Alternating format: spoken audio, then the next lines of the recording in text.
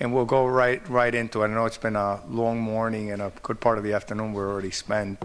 Assemblyman Chiusano, you have the floor. Thank you, Chairman. Thank you, Commissioner, and, and, and the rest of your team. Um, I'm going to start off with just a couple of questions, just to clarify. I'm understanding a couple things, particularly as it comes, uh, as it relates to the attendance format that we're using or formula. And I thought I heard you say earlier this morning, I think when you were speaking to the chairman, now I'm not sure if it was about his district, but did you say some districts have 99% and 100% attendance? So let me, let me clarify that. Thanks for the, thanks for the question. So, um, we, uh, the way we design, uh, I'm sorry. Thank you. Then we got it? Okay. The way, the way, the way, the way we designed it, we wanted to measure uh, attendance against a realistic standard. Um, and we um, assumed, I think, consistent with uh, sound logic, that um, uh, 100% attendance was not a realistic um, ob- obje- ob- objective. And so we looked at the attendance levels in all districts across the state and found that the, um, uh, the typical district, uh, that, that if you go this, in the 75th percentile of performance, are at 96% uh, attendance. So the math here gets a little bit tricky, but, but we basically calculated 100% for purposes of full funding at 96% attendance. So when I said before that most of your districts are at 100% or 99.9%, what that really means is they're at 96% or the equivalent of a 96%. All right, I, just, I want to make sure because I. Yeah, didn't I make look- sense. Yeah. look- Okay. Yeah. So then that, a district that is at 95% is really at 95% of 96%. Eh, correct. Okay. Correct. And, you know, there was some discussion today about whether or not it's fair to uh, base that on one day. Um, uh, I don't operate in a vacuum. I deal with a lot of folks, and from many districts, uh, folks who live in my district and commute out, or vice versa. And so when I hear that our district, for example, is um, has a lower attendance rate than other districts, I tend to become a little skeptical. And while you were asked earlier today, do you have any data to support that? My concern is whatever data you are being given, I'm a little skeptical of because my sources tell me that uh, based upon their the fact that they teach in districts outside of my district, that there's no way that some of those areas are at 99% or 100% of the base of the 96%. And so I really encourage that we look at some other way than October 15th because, and I understand the emotional concern, well, we can't be unfair to a school because students are out one day. But I'm sorry, Commissioner, when, when other districts, in my humble opinion, are being rewarded, and I'm going to, I'm going to put it that way, if, if, they're, if they're being uh, reimbursed or rewarded based upon figures that I don't believe are accurate, then other schools are going to be suffering because there's only so much money. And, and I bring that up in relation to um, the funding formula. Um, and let me ask you a couple of, of questions um, in that regard. And if you would forgive me, I understand that um, if you don't have all of the answers, feel free to get it through the chair to us. But when I'm looking at the, um, the formula versus uh, where we have a base cost per pupil of $10,555 proposed, this is according to OLS's information on page 22 of their report. And as I understand it, but please correct me if I'm wrong or help me out, if the at-risk concentration is 20%, there's another 0.47 boost, 47% increase, excuse me, in that proposed base funding amount, correct? Correct. If their at-risk concentration is 60% or greater, then it's 57%. Am I, am I correct so far? So let's say, for example, the base cost per pupil is 10,555. If their at-risk concentration is 60%, they're going to get approximately another $6,000 per student. I believe that's correct. And the at-risk concentra- the at-risk is determined based upon the free or reduced lunch program. Correct. Now, if they are also, in addition to that, limited English proficiency, there's another 50% of the funding increase.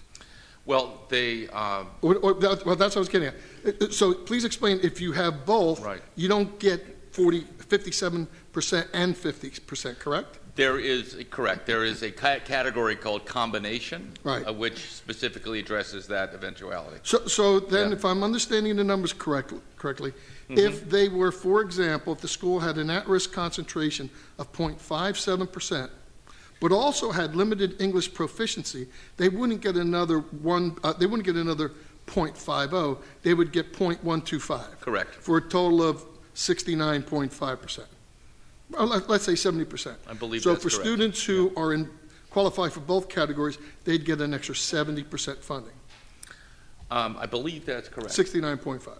Yes. Under the SFRA, correct. I'm sorry, under the proposed, I'm using 211, uh, 212 school year. Under proposed, I'm sorry, it'd be .46 plus 10.52, or .105, correct? Okay, so 56, 57%, right?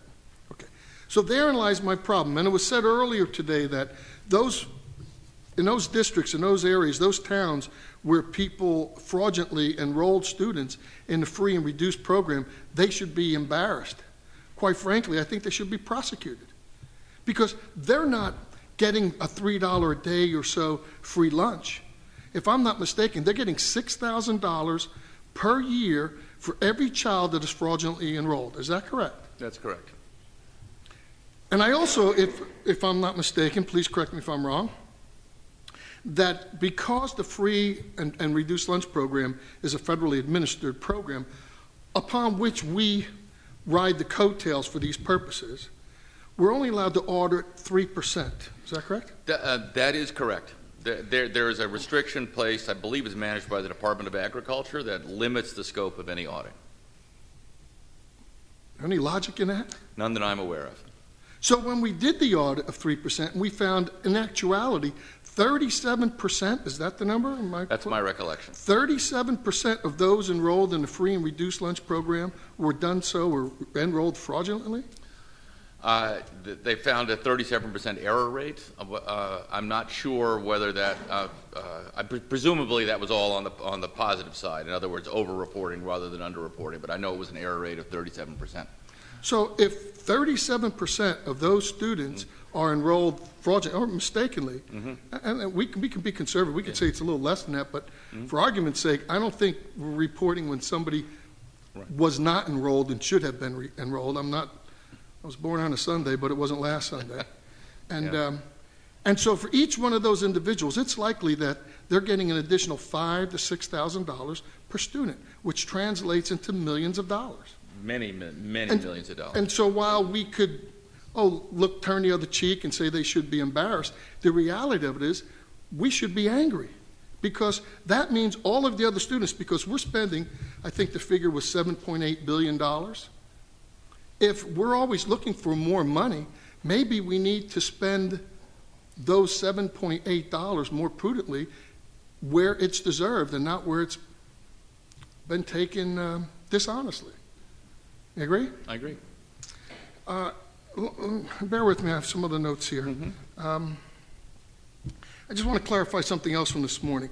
If you would, uh, the tech fund, which I'm an advocate for, by the way, because I believe if we, um, we take care of the parochial school students, that means we don't have to fund them entirely at the public school level. So I've been advocating for that, for the nurse, nurses aid program as well, but did you say that that tech fund program was defunded when? I believe it was fiscal uh, 20 2010? Can I confirm that? It was either nine or 10. I know I was in the legislature, but I think back then, we had, um, the majority party had both houses and the governor's seat. So this was defunded then? Yes. I mean, we will certainly confirm that, but that is uh, my understanding. Because I was on the budget committee last year, and I thought last year was the first year because we were pushing for it, we were fighting for it. So I thought, you know, that forty dollars went from forty to zero last year. So I'd like to know if that was Sure. It's just a Uh, we- little different spin on the information that Yeah, uh, uh, the so- assumption under which I was operating. So um, uh, we're just confirming, it. if you give me one second to uh, ask my colleagues.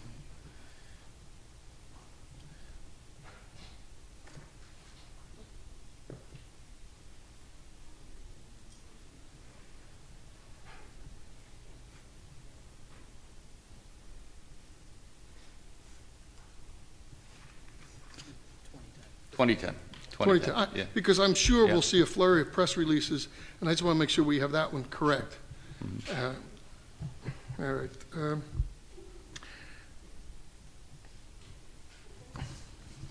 How much per student approximately, and if you don't have this, Mhm. through the chair, we can get it later, how much per student do we spend, the state's contribution, the the taxpayers', let me put it, the taxpayers' contribution, state taxpayers' contribution, what is the average that we contribute per student in the formerly known as Abbott districts?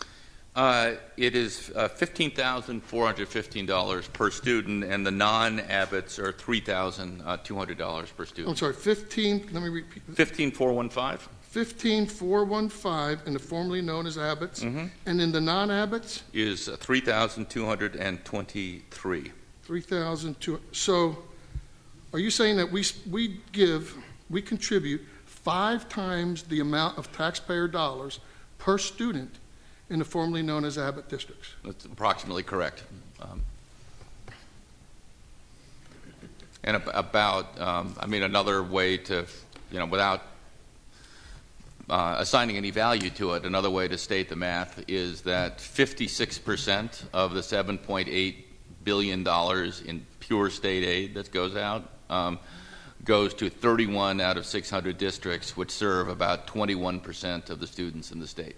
Yeah, because I'm sure we're going to hear that we need to contribute more to those areas, but when I see that we're giving five times the amount, then I have to worry about another figure that we heard earlier today, and someone had said 52% of everyone's property tax bill goes to education.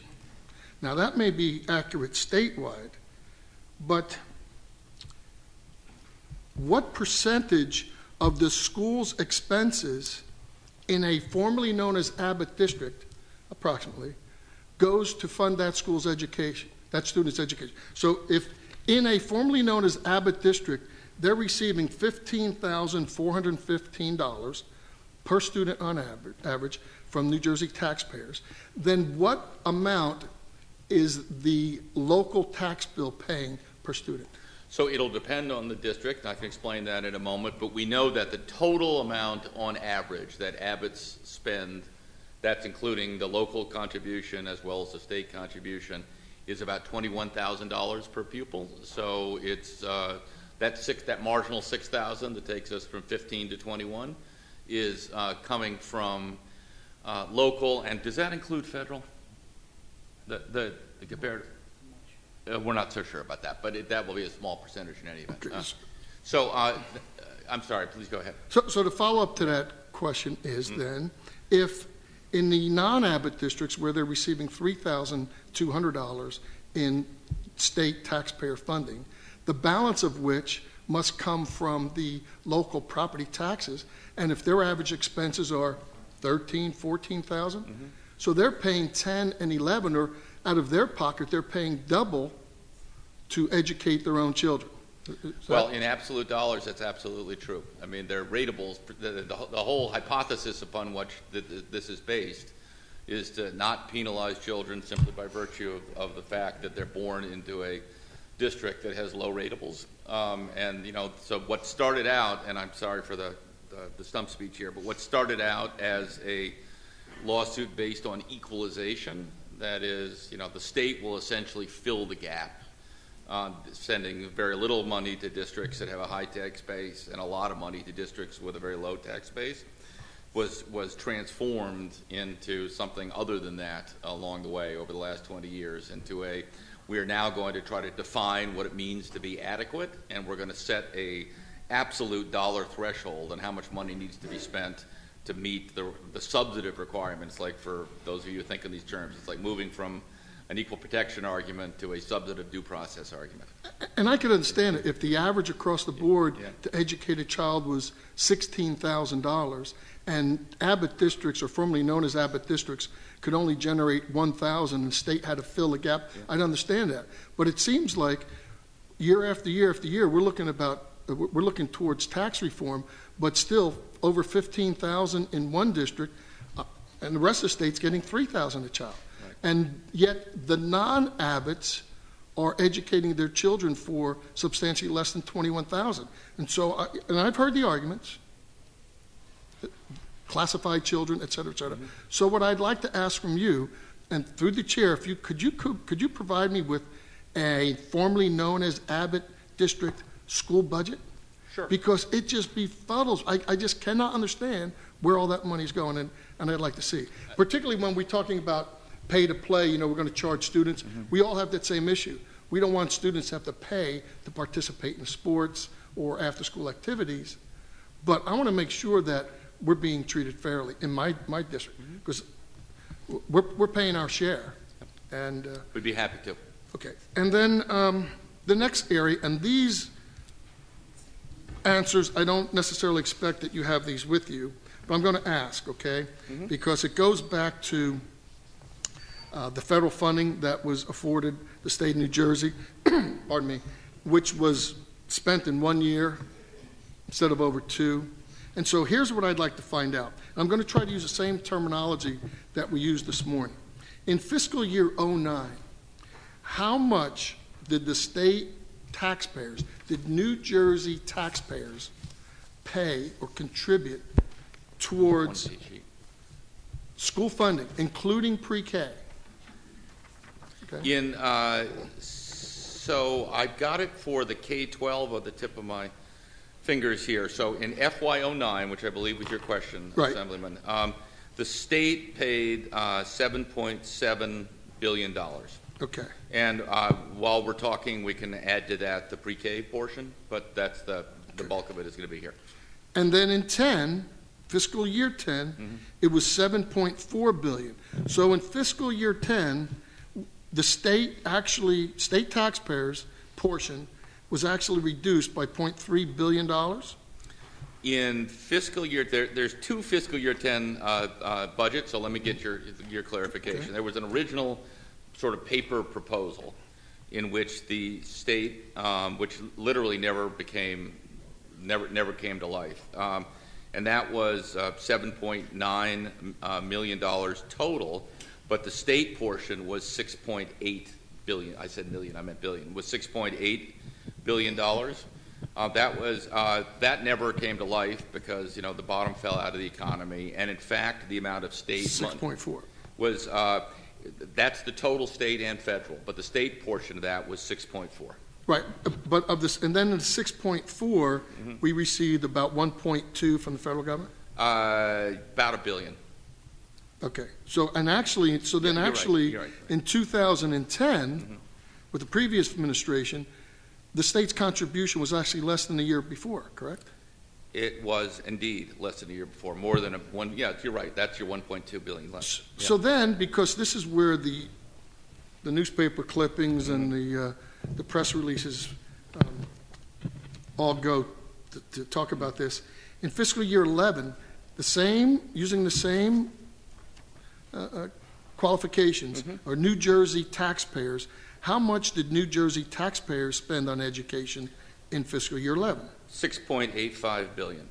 All right, so now I go from 6.4 to 6.85 billion. Correct. So can we say publicly, for once and for all, that the state of New Jersey's taxpayers contributed more to education in fiscal year 11 than in fiscal year 10? Uh, Because you- we're constantly hearing that the administration in fiscal year 11 cut the funding, and I just can't help but think, and this has come up many times, that it was re- in reality the loss of federal funds. Uh, You can say that definitively, and if if we phrase it um, this way, and not to not to mince words, is that the FY uh, 11, um, the state taxpayers um, contributed uh, uh, more than $400 million more than they contributed in 10. Do you have any reason to believe that OLS would disagree with you? I doubt, I doubt it very much. It's all in what you choose to present. And why do we keep hearing critics out there talking about the governor lowering the contribution education when he came into office? Well, I'm going to um, uh, defer to those who are more steeped in the science of politics.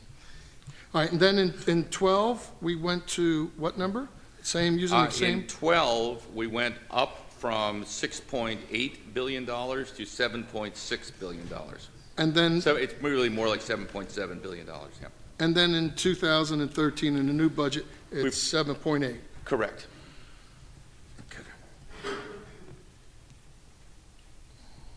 So I, the, the point that is, I think, absolutely unarguable, and um, I, you should draw, of course, uh, your own conclusions, but is that the budget, regardless of all else, the budget that this governor has proposed for FY13 um, is richer and more generous towards K-12 um, education than any prior um, allocation of state funds to K-12 since the beginning of time.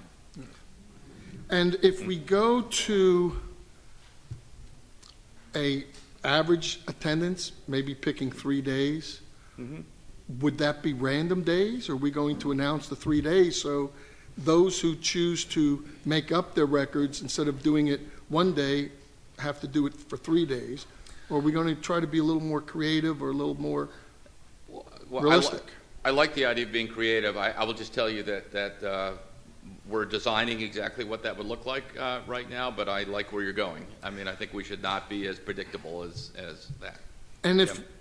A three percent audit is the maximum that we are allowed, and we're finding that maybe thirty-seven percent is, um, is abused or fraudulently, uh, has fraudulently enrolled students, isn't there some other criteria we could use? Well, the, the. Like, like tax returns? I mean, when you apply, Sure. when you Well- apply for financial aid, when you apply for, when you apply for anything, you have to produce tax returns.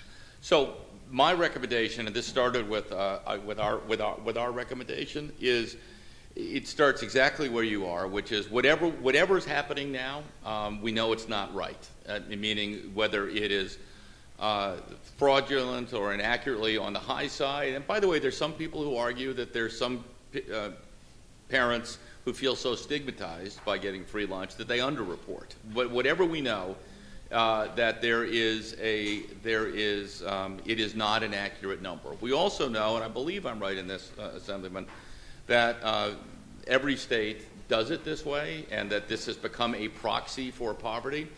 What we don't know, because we haven't put our brains against it, is there an equally fair but more accurate way to do it? Whether, and I don't know whether is or is not a good idea, or food stamps, or, or um, uh, I- you know, I'll give you, I'll, you know, I'll, I'll tell you the way I would do it, but I've got a major problem to solve, and that is, I am, you know, if we really want to stay on mission, right, we should focus on the kids who are underperforming academically, and we should fund the heck out of those kids. Um, and regardless of regardless of anything else, there are 40,000 kids in the state who can't read by the by the third grade, and only half of them are in districts that have more than 50% poverty. Uh, and so uh, now I don't want to create perverse incentive to not educate kids. The less they the, the less well they read, the more money they get. But if we can solve that problem, I think it might be much more targeted, and we do have those data, which is to invest in uh, a higher amount of money in kids that the public school system has failed to date. But the, these are the kind of ideas we should be thinking about. And I have no problem with that. In those areas yeah, that yeah. need the extra funding, uh, provided they prove that. Mm-hmm. Because if they're getting monies that they don't deserve according to the rules, then someone else is losing out. Some other district is losing out, and that's money uh, that's, that's not being afforded to them. And that frankly is just not fair. So, Mm-hmm. I think that is all, sir. Let me just check my notes one more. I was gonna, I think that's it. All right. Thank you, Chairman. Thank you, Commissioner. Thank you very much. Thank you, Assemblyman. Ju- Just to follow up on uh, Assemblyman Chiusano's uh, Yeah. question, and just for clarification, and I know he was trying to say about um, what's been ca- categorized as the the size of of the budget that's going toward education. The way I look at it, math is math, numbers are numbers, and you can call it this, you can call it that, but I could swear that I heard from you that you said 010 uh, was nine, uh, 7.9, if I'm not mistaken, Uh, prior to the, the uh, surplus. So my understanding, and we, by the way, we can turn to people who lived it, uh, is that the, uh, there was a paper proposal, uh, or budget, I should As say, we have today.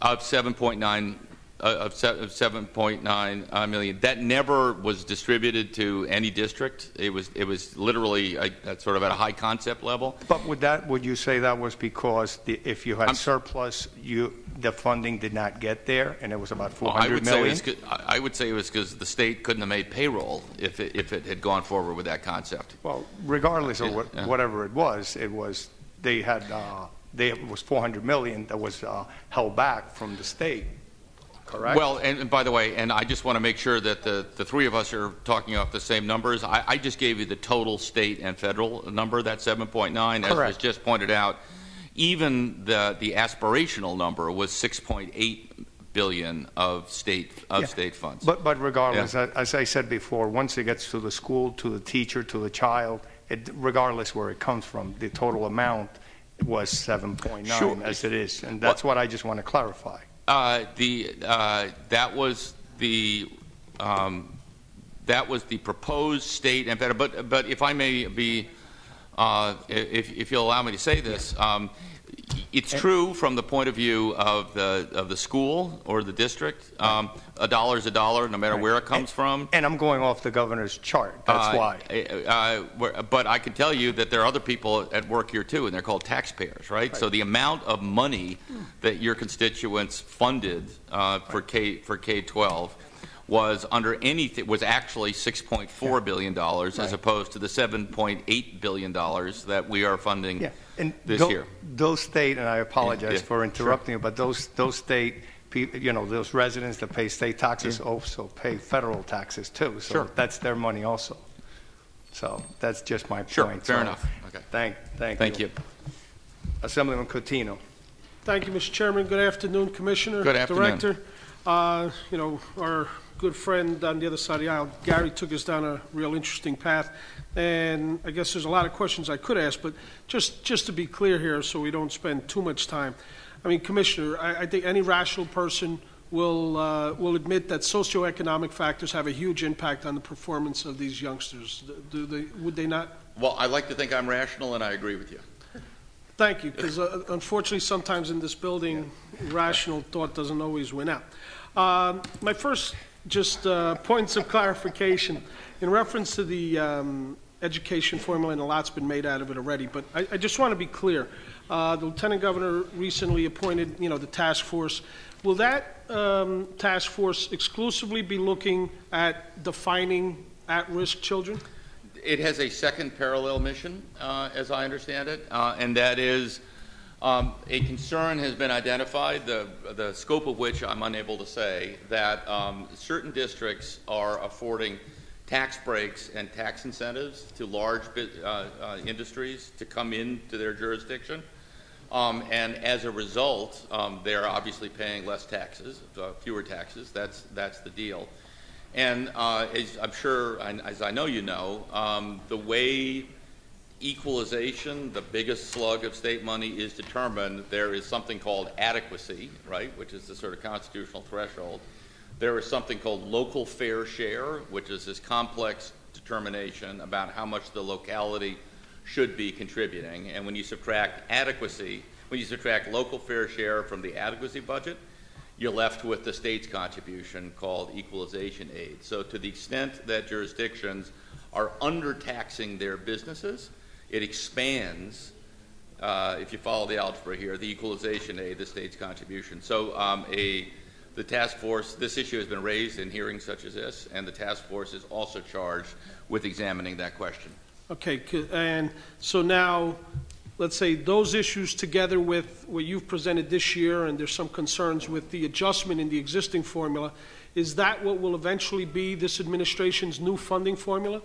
Or are we looking at other, let's say, alternatives into possibly addressing the complete financing of education, um, you know, relooking at the entire system of how we fund Well, I. I, I, I can't speak, I can't speak to the future, I don't think anyone can, because. Well, what are you working on? Well, Put it that way. well, let me, let me put it this way. The, the, the governor's proposal has a five-year phase-in, which, you know, which is, uh, you know, sounds like a commitment to me, uh, of, of, uh, of, that all of these changes, um, will roll in over the course of five years. I can't rule in or out the possibility. So, by the way, this education, uh, I'm sorry, funding report represents my best thinking for a rational and fair system. You've got my best shot at this, Assemblyman uh, Coutinho. I'm not sitting, it's not like I've got some Manhattan project that's, that's being hidden somewhere to revisit this Okay. uh, again.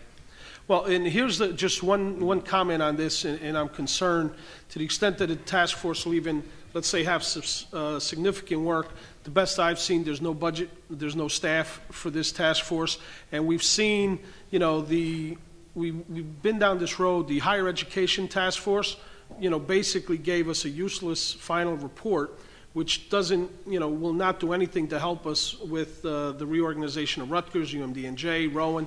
And one of the big problems they had was they didn't have a budget or a staff. So I am concerned, you know, how effective this group will be able to be on such a critical issue to the extent they don't, um, don't have the resources. So I think it's important.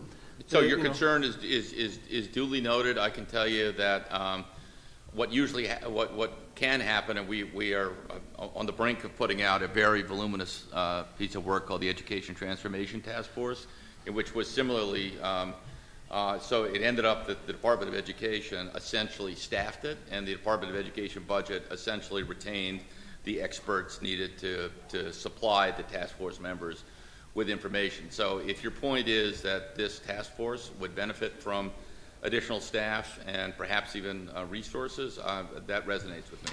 Okay. Um, A different take on, I think, a question that Assemblyman Burzichelli uh, asked this morning, and I want to wrap a- another component into it. You know, when we started down the experimentation, you know, charter schools were supposed to be laboratories that we were going to take things from and put into the public school system. I, uh, I'm going to ask you to comment, what have we taken from charter schools and put into the public school system? I think all we've done is just expanded the number of charter schools. And in, together with that, I'm curious, what are we doing within your budget to identify business efficiency, you know, within um, the dollars that we're giving to the districts? Because I think that was also a question that came up where the county superintendents were supposed to find savings. Because, you know, again, I believe rational people will agree that the Abbott remedies made sense. There's clearly a huge fight over why does it cost so much. So I guess my question is, what have we learned from charter schools? Have we put anything into public schools? And what are we doing to identify business efficiency within what's effectively a $25 billion a year uh, operation in the state? Right. So, uh, first of all, on, on charters, uh, on, on charter schools, um, I think we've learned a lot from charter schools, and indeed, there's some very powerful things going on in Newark, uh, in particular, in which um, the uh, there's an effort to not view charter schools as an island, but to view them as an opportunity for sort of a portfolio of great work that informs informs each other. I think that's one of the more exciting things, one of many exciting things that's going that's going on in Newark. I would also um, um, commend to your attention a study by a gentleman by the name of Roland Fryer, F-R-Y-E-R, who is, um, uh, I believe he is a Harvard uh, uh, economist, but he, he has ba- basically engaged in the task of unpacking um, what practices actually are making a difference for disadvantaged children in, in learning in, in learning outcomes. Uh, and you know he finds some things, by the way, that are very intuitive. Um, but um, and but he is uh, supporting the mission that you identify, which is turning you know making sure those practices are imbued into other schools that are not successful. Your second question uh, was um, how are we assuring that sound business practices are in um, at work. Um, it, and I think implicit in your question is the view that, you know, under any theory, a heck of a lot of money is going out there, and under any theory, we're not getting the results we want in, in, in, in, in certain places. So how do we know that the right things are being done? Well, here I would tell you that we, um, uh, uh, we are actively engaged in a process to try to direct that, but I will also tell you, we need, you know, your help, uh, your help in that. Is, um, we have basically said um, that um, we are going to have a, if a district is successful and its schools are successful, I happen to believe we should um, get out of the way, police the budgets for purposes of, you know, are they consistent with GAAP, you know, accounting principles? Are they consistent with uh, sound practices and so on? But I don't want to be in the business of telling, you know, a, you know, a, a successful district um, that you know you can only spend a dollar twenty-five on lunch and you can't spend a dollar fifty on lunch, or the, or the, that um, you have to have one custodian for every seventeen thousand five hundred square feet of space. I would much rather let the taxpayers um, uh, control the budget and let the um, and us and we control whether the district is in fact um, su- successful. On the other hand, when you look at um, districts and schools that are in the bottom um, decile, pick a number, uh, then I think we need to say uh, in a very aggressive way, we are going to condition your funds on doing things that work.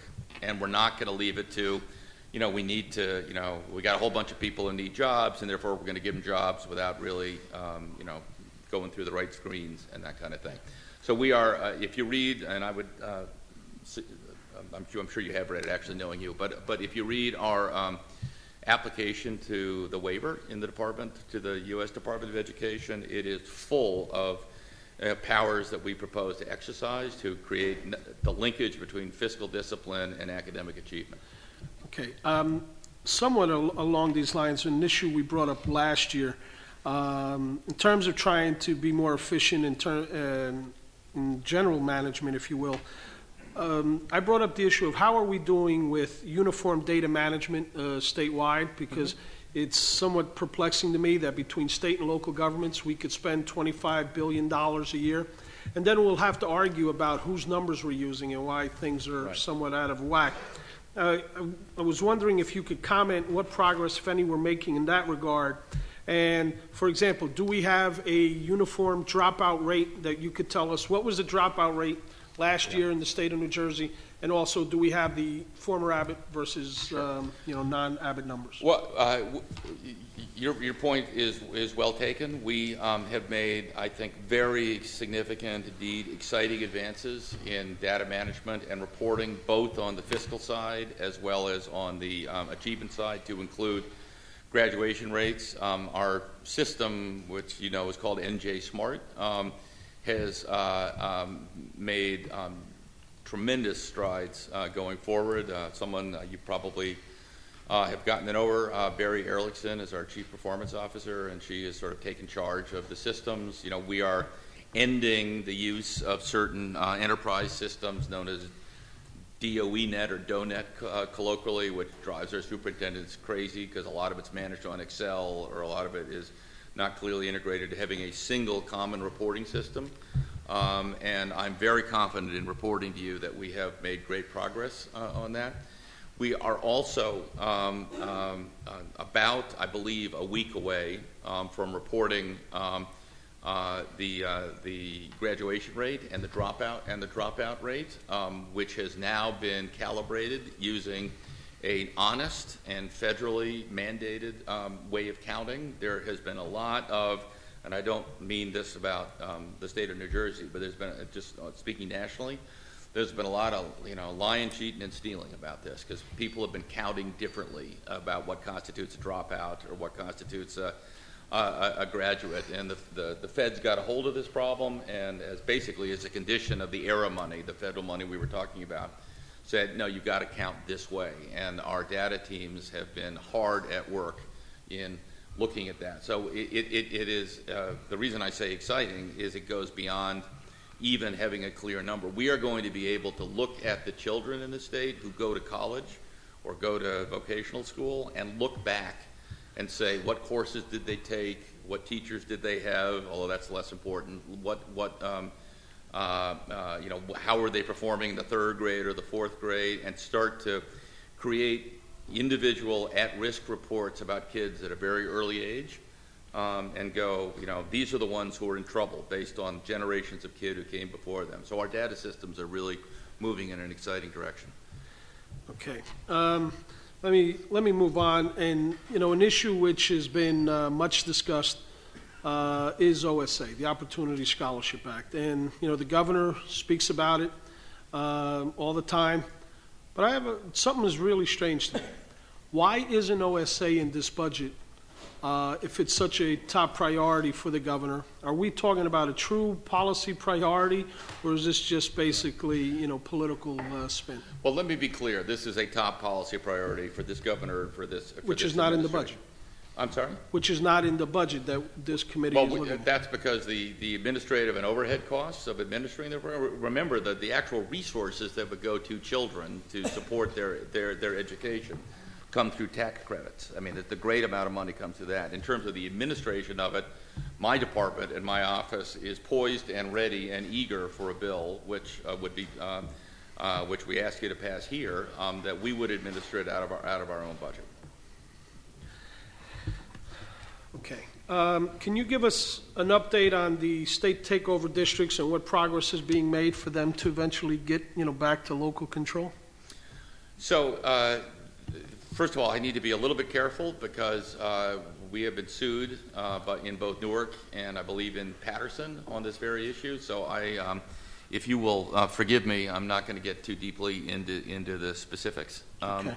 uh, But uh, there is, um, uh, shall we say, a great deal of thought being given to, to this issue. And I can just tell you at a, at a high level that, um, you know, this is, again, my decision, um, and I made a decision with regard to Newark, which I suspect is the, um, the source of your, or the immediate source uh, uh, of your question, and I would do it again, I would do it again tomorrow. I have the easiest job in the state in one regard, right? The only people I represent are the children of the state. I don't represent adults, I don't represent school boards, I don't represent anybody, anybody but what's in the best interest of the kids.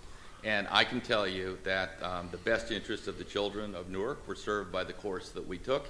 And I'm very hopeful that uh, uh, over time, and over a short period of time, um, you know, the governance structure can evolve. But that's, that's my position. But now Newark has made significant progress in several areas, is that correct? Well, Without it- getting too much into the case, but the scores are what they are, correct? So, uh, I, I'm just trying to make sure I don't like put my foot in my mouth You know I, I would tell you Uh, what, you, you don't have, one thing though that is a little, can you explain to me why Camden is not a state takeover district? And Newark still is? I, uh, you know what? I can't. I, I don't mean to be flippant, but if you look at the academic results in Camden, uh, they are devastatingly poor. Okay, I- and I, I would just say, you know what, I do believe that there's a role for the state to come in and take over districts, uh, and, you know, specifically even with as much money that goes, comes from the state for, um, let's say, the former Abbotts, I don't have a problem with ongoing financial monitoring even. It really just makes sense, but I do believe to the extent that it's possible for the local community to be as involved uh, and engaged as, as possible would be beneficial, so, but I, I would ask, you know, I mean, that Camden thing and just the latest report that you came out with, uh, and I I believe that, you know, the other members may ask about that, but I was just curious how that didn't happen. All right, that's, uh. By the way, I should, I should just say, not to anticipate the Assemblyman's questions, but, but there are, um, uh, there is a process underway here, the outcome of which is, is genuinely not known, that took um, the very low uh, uh, CUSAC scores, which are the numbers you're referring to, uh, and is engaged in a process of analysis and investigation, um, which may or may not lead to any one of a number of courses of action. Sure, and Commissioner, a, small technical question, I, I just wanted to see if you could verify. As part of the indirect aid, which is increasing, uh, you know, uh, this year, there's 112.6 million, which is, uh, scored for debt service on pension obligation bonds. Are these, uh, is this score directly related to, let's say, education employees, or, you know, what does that number represent? So I want to just get a sheet of paper in front of me as I re- reflect on your question. If you'll give me one second, please. Um, These are the debt service on pension obligation bonds. S- uh, So that's, I found it, 112.6 uh, million. You know, I may be wrong about this, and if I am, I'm, I'm going to correct myself. I believe that um, these date back to the Whitman administration, Yes, they do. when they, when there was a, uh, uh, basically debt against uh, the pension fund, and this is, ser- this is servicing that debt. Am I right? Incredibly irrational decision at that point in time from that government, Right, um, and- which I was here, by the way, and voted against. Oh, okay. Uh, um, I left and came back. um, I am, um, I, I've now fully exhausted my knowledge of that subject, but so what, what was, your- uh, what was All right, question? well, my, my, my question was, what is this 112.6 million, where does it come from? Is this related to, let's say, a percentage of that bond money that was used for the teacher's pension system? Or how did we come up with the score of 112.6? And is there, you know, if you don't have this, maybe you could get that to the Sure. chair to us. Um, I'm curious, is this prorated at all, or where, where exactly does this 112.6 come from? And um, that's, that's I, basically the I, I question. believe it is the, the, the- the bond schedule, it's the interest schedule on the bonds, and that's just, you know, what the bond instruments, uh, you know, require. But of the total bonds, or bonds attributable to the This. education department? No, uh, No, I don't think it's the total bonds, but I think they, they, they- they reside on the education budget. But I will certainly get you that information. All right, because, and, and again, and, you know, without belaboring the point, and I know that Assemblyman Chisano and others had gone back and forth somewhat, you know, the, the point is, this is not money, while it might be increase in the budget, this is not money that's going into the classroom. So, you know, we still have a lot of stress, uh, on the budget in that regard. Um, all right, Th- thank you. The last one for you, Commissioner, and then I have just a question or two for Marc, Mr. Chairman. Um, you know, one of the things which, again, being from the inner city, and I think is underappreciated, is the value uh, of vocational high schools. You know, and we've had this discussion, you know, briefly, and I see that we've flat funded it. Do you, do you not believe that, let's say, and I heard you, and I, I agree with you, that the economy is evolving to um, more of the service sector, but when we look at the inner city and the high dropout rate, wouldn't an increase in vocational high school opportunities possibly keep some of these kids that are dropping out, who give up and say, I'm never going to go to college, so I'm going to drop out? Where, you know, possibly I've seen firsthand the ones who, let's say, look at, let me go to the vocational high school and I'll at least have a chance to have a skill. Uh, So I do agree with that, but let me, let me just clarify a little bit. It- You know, in, in, in my era, uh, vocational high school is where you went um, if you weren't sort of on track for, you know, for, for the higher level. Um, uh, Now we talk more about, although the lingo is not caught up in this state, yet, about career and technical education, uh, which is, um, and essentially what the world is telling us is that to, uh, you know, you don't need to go study, um, you know, liberal arts, Plato and Aristotle, et cetera. Um, um, but to be, to pursue a meaningful career in technical education, you still need a serious, you still need a serious education in math and, and science uh, and, and the rest. So um, I certainly endorse um, the support we provide to our vocational schools, that we as a state do a very good job on that, uh, I, I think. And I certainly endorse providing a career and technical education, both in that context and in our general um, education schools. And, you know, nobody wants to uh, do anything but say that the career path that those students take is equally as valid and just as important and just as noble as those who, uh, you know, take, the, take a, a more liberal arts approach. And and again, I know that it's a relatively small piece of the whole picture, but in Essex County, as an example, I believe that of every three kids who wants to go to vocational high school, there's only one spot. And now, you know, I can't help but wonder, you know, how many of these kids now end up dropping out and might have been saved if we had a little bit more space for them. So I would ask that the department keep an open mind on that, to the extent in those areas where there is a greater demand than supply, we try to expand the opportunities. If anything else, you know, if one of the, your legacies will be that, you know, the dropout rate, if we can basically keep, you know, several thousand more children from dropping out, um, you know, I think is something we should look at. In fact, one of the interesting things I've seen through some children that, you know, I'm involved with in other youth programs, is they go into vocational school and then, sure enough, they weren't thinking about going to college. They end up getting motivated, they're successful, and they do go on to college. You know, so I, I definitely think uh, we have a crisis in clearly in our urban areas, and we need to be open to everything: high-performing charters, OSA, increasing vocational education. So I would ask that you, you know, you look at it, I know you have a lot on your plate, but, uh, Well, I I, agree with you, let me call out the, the, and, uh, the, I think the Essex County Vocational School has got a tremendous leader who's doing some very, very, uh, uh, interesting things. Yes. Uh, And I, I agree with the sentiment you expressed. Thank you, thank you, Commissioner. Director Larkins, good afternoon. How are you? Good afternoon, Assemblyman. I'm fine, and you? Uh, I'm hanging in. I'd be better if we have some more cranes in the air. All right.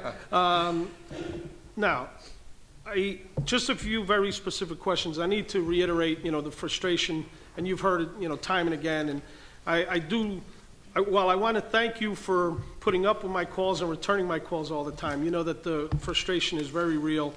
Uh, this board, this committee has heard that I ran, I came to the legislature because of the school construction issue. Uh, my host community had 70 of the original 172 new schools that were supposed to be built from the original court decision of after the first boondoggle, none of them got built, the big zero. And till this date, we still don't have any. Now, the, you know, your office and the governor have committed to building two, and I, and I'm thankful for that. But, um, you know, we're just, the, the pain is real, and I know that there were mistakes made, and we really need to start moving forward with this.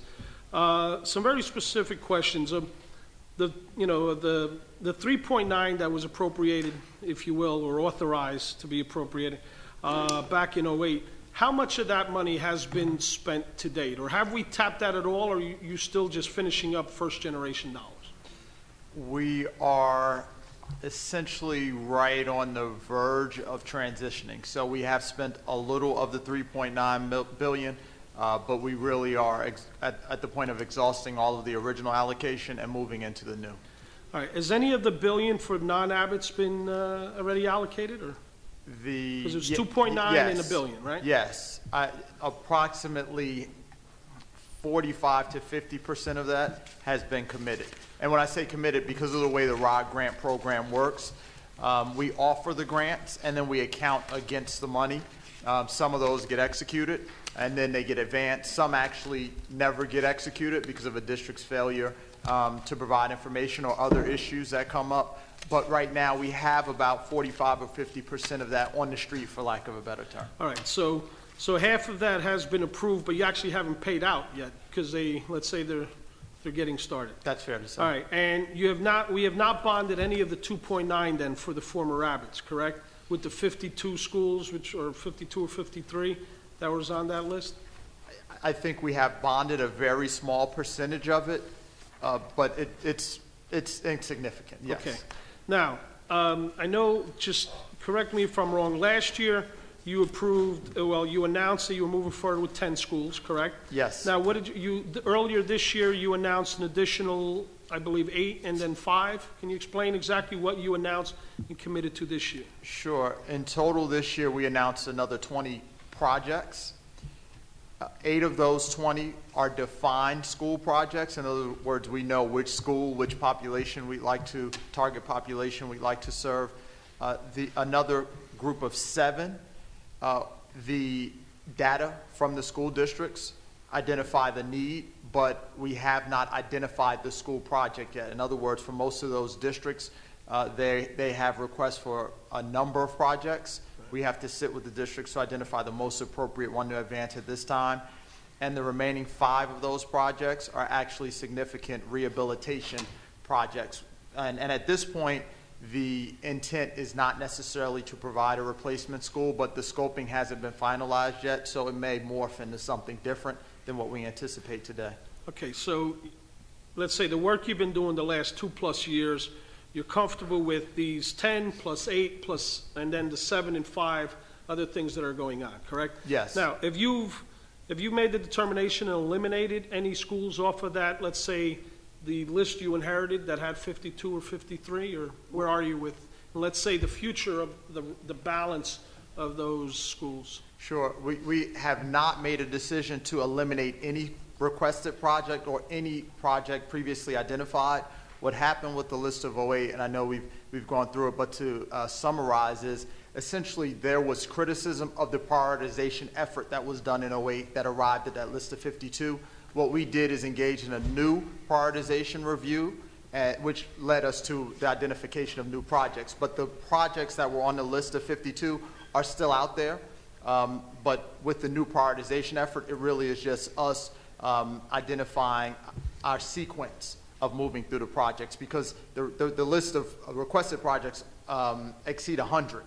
So, All right. Um, If, if you can, given the timelines you have now, let's fast forward a year from now, you know, May of 2013, how many active construction sites do you believe we will have in the state, uh, throughout the state? I Is will it cer- short of 18? Is it 10? Is it?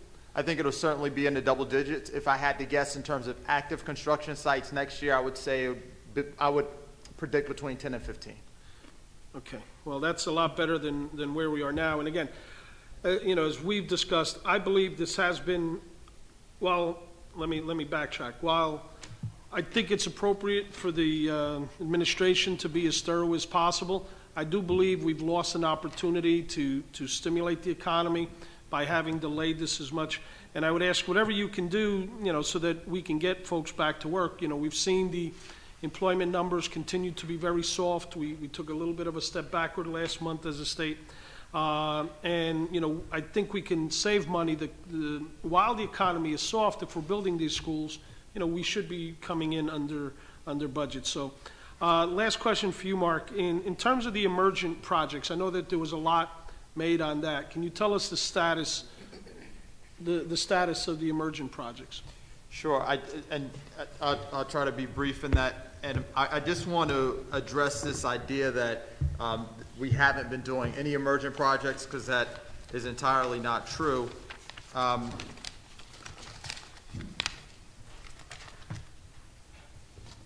Just give me one second, I'm sorry.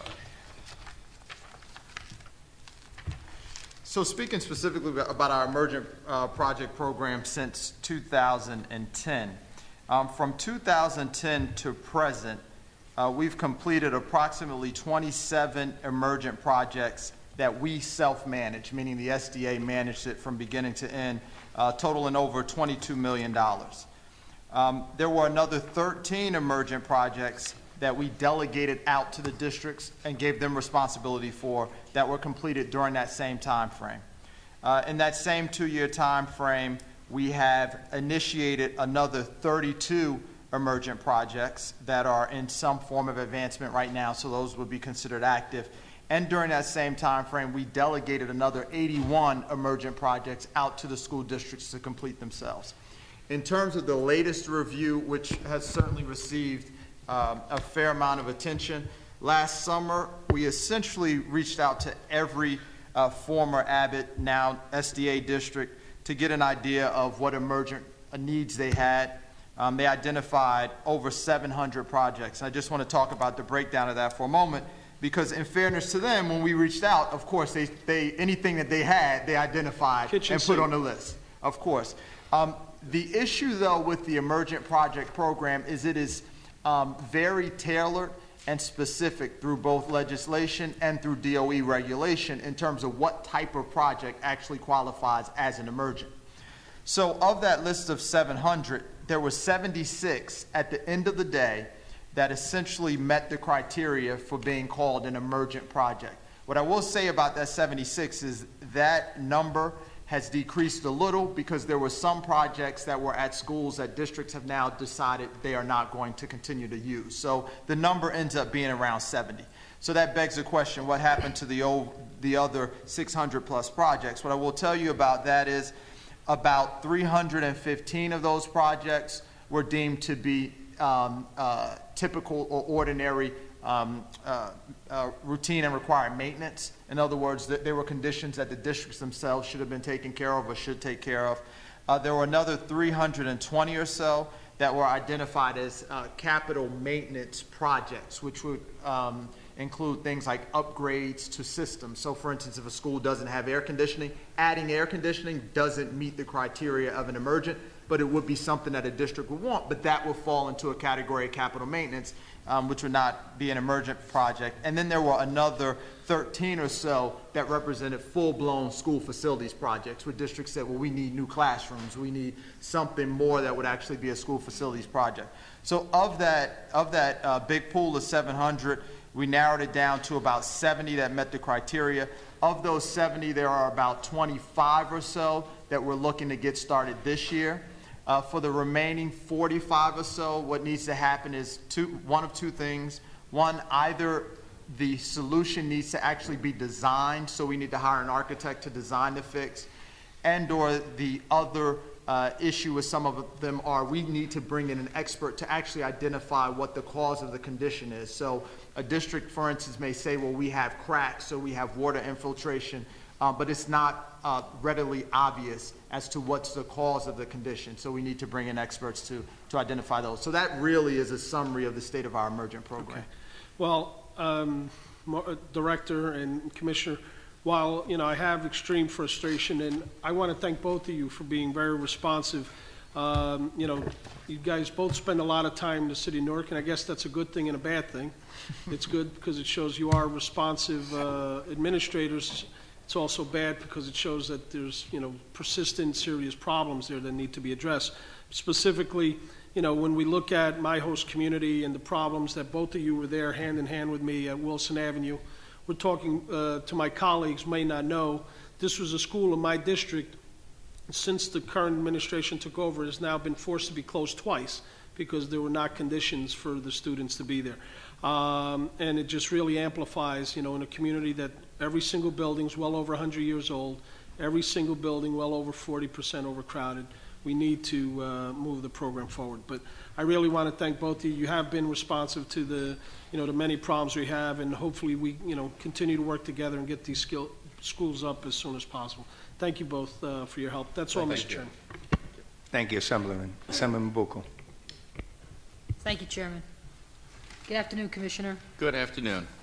Uh, I appreciate your testimony today, uh, along with your willingness to think outside the box in, uh, in finding ways to better uh, our educational system here in New Jersey. I- just have just, just one brief question, and- and you touched on it a little earlier, and that is in the teacher evaluation pilot program. I know my colleague, uh, Assemblyman O'Scanlon, spoke to you about it a little bit, but I guess I'd like to know uh, just a little bit more. How is it going? Um, You know, how many schools are involved in the program? And, and I have to tell you, I spent a day in a kindergarten class. Uh, I don't want to say as a teacher, because I don't think there was much teaching going on the day that I was there. I was just trying to figure out what was going on for the most part, but um, I- I- it struck me as I did that, that um, how is an evaluation process going to take place between the different levels? You know, like, how do you evaluate a kindergarten teacher versus a high school teacher? And is that what part of this pilot program is trying to sort out? Uh, Excellent question, and it's precisely what this pro- pilot program is attempting, excuse me, to, to, to sort out. Um, There is a, um, pardon me, there's a deep challenge in the realm, that's all right, you didn't, stun me into submission. Uh, uh, There's a deep challenge uh, in the area of what are called untested grades and subjects meaning um, whatever else one thinks about this enterprise, in the third through the eighth grade reading and math, we have a federally mandated examination. It's called the NJ ASK uh, uh, in this state. And uh, the statistical problem of attribution is, is, is easiest to solve in those areas because you know who the fourth grade teacher was or the third grade teacher. It's still hard uh, because there are influences that are exogenous to what goes on in a particular classroom, but it's the easiest to challenge in there. Where um, the enterprise uh, requires um, tremendous creativity and a very open mind is in the untested grades and, um, and subjects. So let me give you a couple of hard examples. The, uh, the drama teacher, even, the, even at the high school level, or your example, the, the, the, kin, the kindergarten teacher. So what we have asked um, districts to do is to start with a really, I think, fundamental premise, which is that what we care about is student learning. There's two ways to think about the educational enterprise. There are inputs and there are outputs. You know, the input is things like class size or, you know, the school that the teacher went to or whatever, whatever it may be. The output is how much the children learns in this Common Core progression towards college and career readiness. So what we have said is the system we are building, when it finally sort of lands, must have 50% of the evaluation based on um, practices, inputs, that is observation, for example, whether it's peer observation, administrator observation, or other, and 50% based on student outcomes.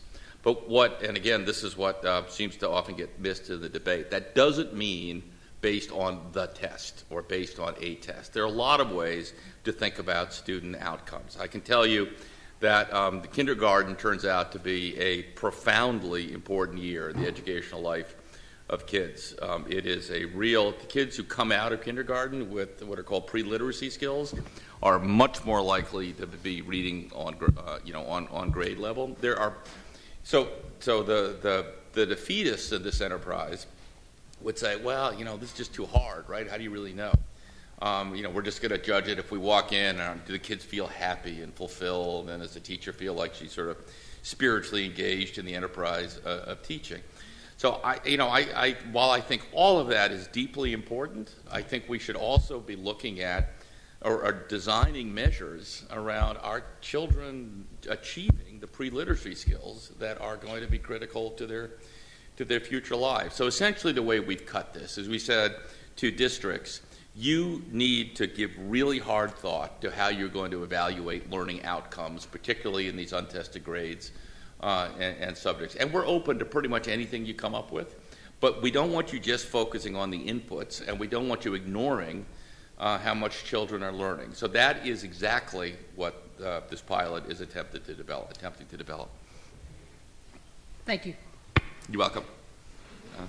Thank you, Assemblyman. Assemblyman Johnson. Thank you, Chair. Commissioner and Director. Pleasure. It's been a long day. Most of my questions, um, or most of my issues uh, have been, I've heard uh, discussed in this forum here. So I have a few um, uh, small items that have come up from different um, people who sent letters to me. Uh, The first one uh, is out of, um, out of Lakewood, and uh, it's something they call the Supplemental Educational Service. You familiar with that? I am, yes, The sir. federal, it's a federal program? Yes. Is there an, is there a state match to that, or?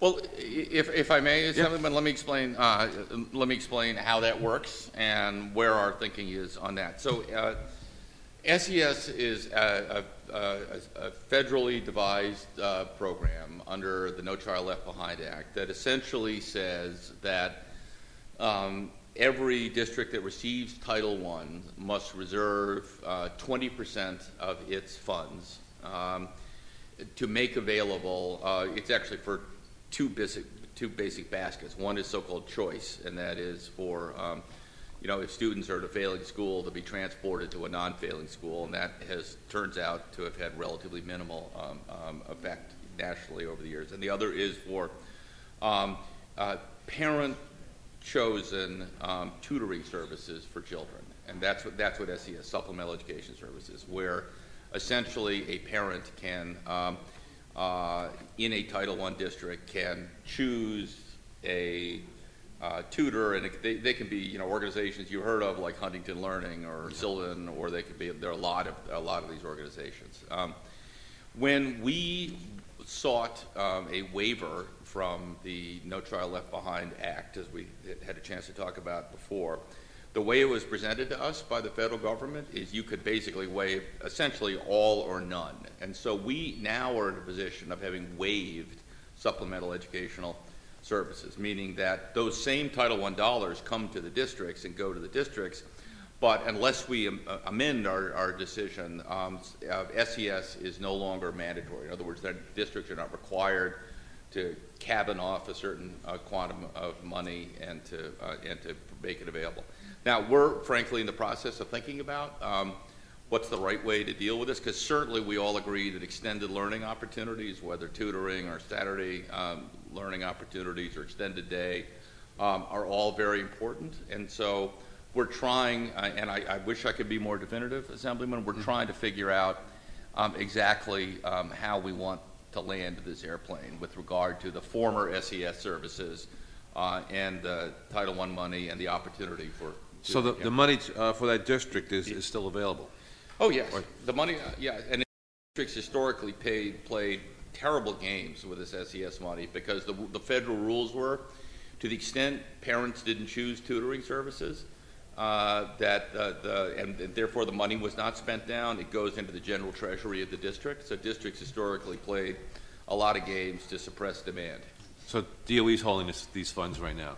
Well, the funds will end up. For, I mean, for the specific district I'm talking Uh, about, for like, The, the funds, actually, the way it's situation, uh, situated right now is the funds that will go in an unrestricted form, effectively unrestricted form, to the district, so that we, they won't, they won't reside with us. They are gonna go to the district, but whereas before, a district, uh, was required to spend those funds on SES, now it will no longer be.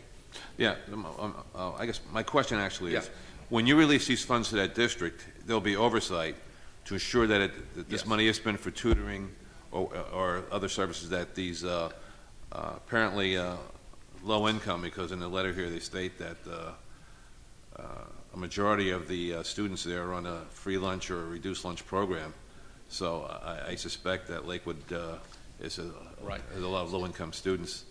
So, uh, That, that's true, but if S, if SES, if we, we stick with our opening position, which is SES is waived, um, then no, they, they, they, would- tho- those funds would go to the general treasury of Lakewood in particular, and they would spend that. Now, again, we are, um, you know, we believe deeply, and, you know, one of the few things that research tells us is longer day, longer year, individual uh, learning services actually make a difference. And, Okay. uh, And so, uh, we are exploring a number of ways So you- to make sure. So it may go in that direction? It may very well go in that direction. A, a different plan, okay. Yeah, I, I should also tell you that this industry has tremendously powerful lobbying, uh, and that it would not shock me in the least if um, there was uh, a very deep effort to try to uh, defend, protect SES as it exists from the modifications that we're considering. Yeah, let's go to modification, I like that term. Uh, in, in this modification, in the plan, uh, what is the plan for preschool expansion, or, or to ensure that, uh, the preschoolers, uh, who need this, uh, uh, I guess, ass- additional assistance? Right. What is, is, do you have any, a plan for that for those students who either are low income or, or, or behind their peers? So I'm, I, I want to make sure I respond accurately to your question. So, you know, this governor and this administration are very committed to pre, to pre-K and, and preschool. And we've seen every year since I've been here an actual increase in the, in the state dollars that are committed to pre-K, and this year is no exception. I believe it's 14 million and change additional, uh, uh, additional um, in, in pre-K. Um, we have, uh, the pre-K program is a, uh, six-hour program where it exists. It's in, it's basically in the former Abbott districts and a handful of other places um, as well. Unlike most states, it is available for both three-year-olds and four-year-olds. Most states, it's just a four-year-old program. Um, It, it incorporates uh, both uh, publicly provided and private providers, like a lot of our pre-K programs are in, actually physically managed by the, by the districts, and some of them are essentially outsourced to private, to private um, providers. Um, I, I want to make sure I don't get ahead of where your question is, but there is, there is a question that, um, about something called wraparound services. Is that perhaps where you're? uh, No, I think you answered, you answered my question. I did, okay, very good, We thank can go wrap around, I'd like to No, hear that's that too. okay, that's all right. The hour is late. Okay, all right. I wanted to hear it. Okay. Uh, Well, I'm happy to respond. No, that's okay. We'll move on. Yeah. Uh, You've had uh, several, well, you've had a conversation or dialogue with uh, my colleague in the 37th, Senator Weinberg, regarding uh, the GED. So uh, I'd like to clarify uh, what she's been told by, I guess by you, regarding some concerns that there may be a change in the GED. Right. Are you- Are you planning on privatizing that? Do we plan on privatizing it? Or No. going to No, an- I don't, I don't think so. So we, we, um, uh, were. You're going to a computer-based, uh, Uh, Correct. We are piloting a transition to a um, computer-based delivery of the, of the, of the, of the test itself. that's with a vendor? Um, You know, I don't know the, I don't know the answer to that. Do we know? Is that? Yeah, it's a vendor, national, uh, it's a national brand, It's a, it's a a national vendor. This is the administration of the actual examination itself? yes. And, uh, well, maybe you could inf- uh, advise us. Is this a, uh, Yeah, it's, uh, there's no changes planned for fiscal year 13 other than the pilot that the commissioner was talking about, but there is a national movement to you know, computer-based testing, and also uh, we're looking at options, I guess, for fiscal year 14 and beyond. Okay, so, so 2014, you'll probably have a computer-based GED system. Uh, Not necessarily. I think we're looking at a bunch of different things, and the commissioner can jump in. Uh, Part Well- of, Okay, let me tell you where I'm, where where I'm going with, here's my concern with this. Yeah. Uh, being as, I said on law and public safety and also uh, as former sheriff. Our reentry program that we've worked on in, in this, in this body here, for those individuals who are incarcerated, either in jails or prisons, where I'm told that the, uh, in the prison system, the average uh, education is like sixth grade. Uh, And we worked on ensuring that, or trying to ensure that when a person left our prison system, they at least have a GED. Now, we talk about this computer-based system. How does a, in- how does an an inmate get a computer to take this? Where are they going to come from? That's my question. Well, I think what. Still I in the planning I- stage, I guess. I'm, I'm gonna, I'm just gonna quickly jump in. I think one of the reasons we're doing this as a pilot is to make sure that we not only do no harm, but we also do good. And I completely embrace the reentry work that you're, you're talking about. And one of the things we would need to make sure is that there was an accommodation, either, as I know is the case in some correctional facilities with the, with, uh, with access to, to a computer the library or, or elsewhere, or by having a non-computer-based delivery, um, delivery system. But, uh, the program you describe, and I've actually had a chance to uh, uh, learn a little bit, learn a little bit about it. Uh, It's been very effective in Newark, for example, um, is a, um, uh, you know, it's certainly not one that we would That want. that a prison in Newark or just Newark? No, no, well, the, I know that this is something that Mayor Booker, for example, has been very um, supportive of, of, uh, of reentry programs. Uh, So we would certainly want to be very sensitive to that concern as we evaluate our options in this, and I will commit to you that, that we will be. But this is very early on in the thinking. Um, Yeah, well, I'm, I'm going to put it out there now because, because I have the microphone. Uh, The fee for this, for a GED course, was it fifty dollars, I think, about? yeah, it's uh, $50 currently, yes. Will that fee increase if it goes to a private, to this other vendor? Yeah, I- Not, not next year. It won't Well, on increase next year, 2014. but 2014, we're still, that's what we're still looking at. We're going to pilot it and we'll, we'll see. Because I was given a number of two hundred dollars to, to take a GED.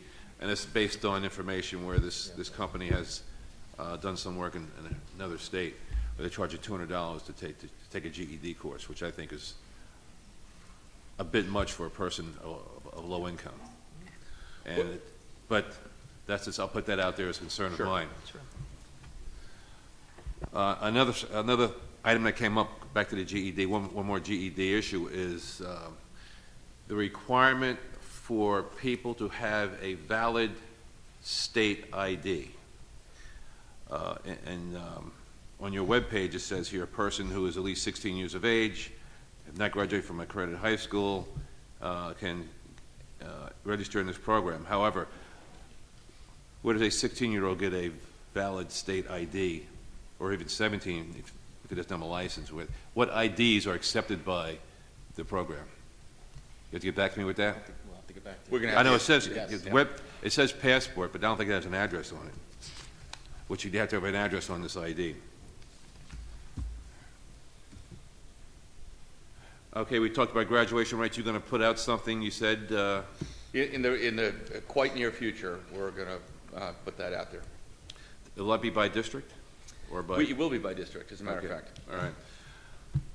Uh, Funding for adult education, where are we with that?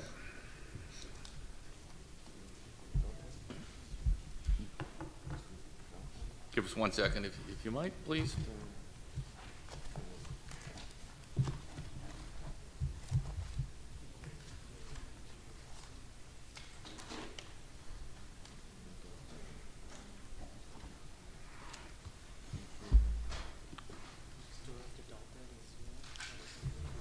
Go ahead. I, I believe the department is at zero for adult ed, but labor has programs.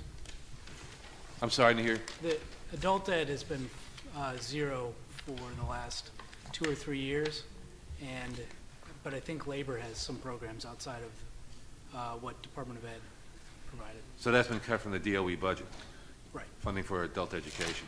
For, the- for the last several years, as we understand. it. And my last uh, question is, um, New Jersey after three,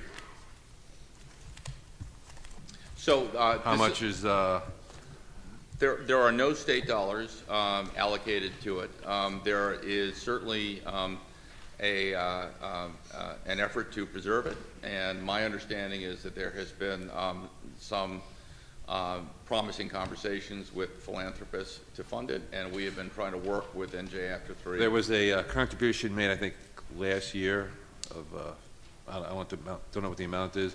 Could you tell us how much is in the account now to, uh, going forward for There's, the, there is no. uh, Zero. There's, there's no dollars appropriated. nothing to in the provide proposed to uh, Yeah. New Jersey after three?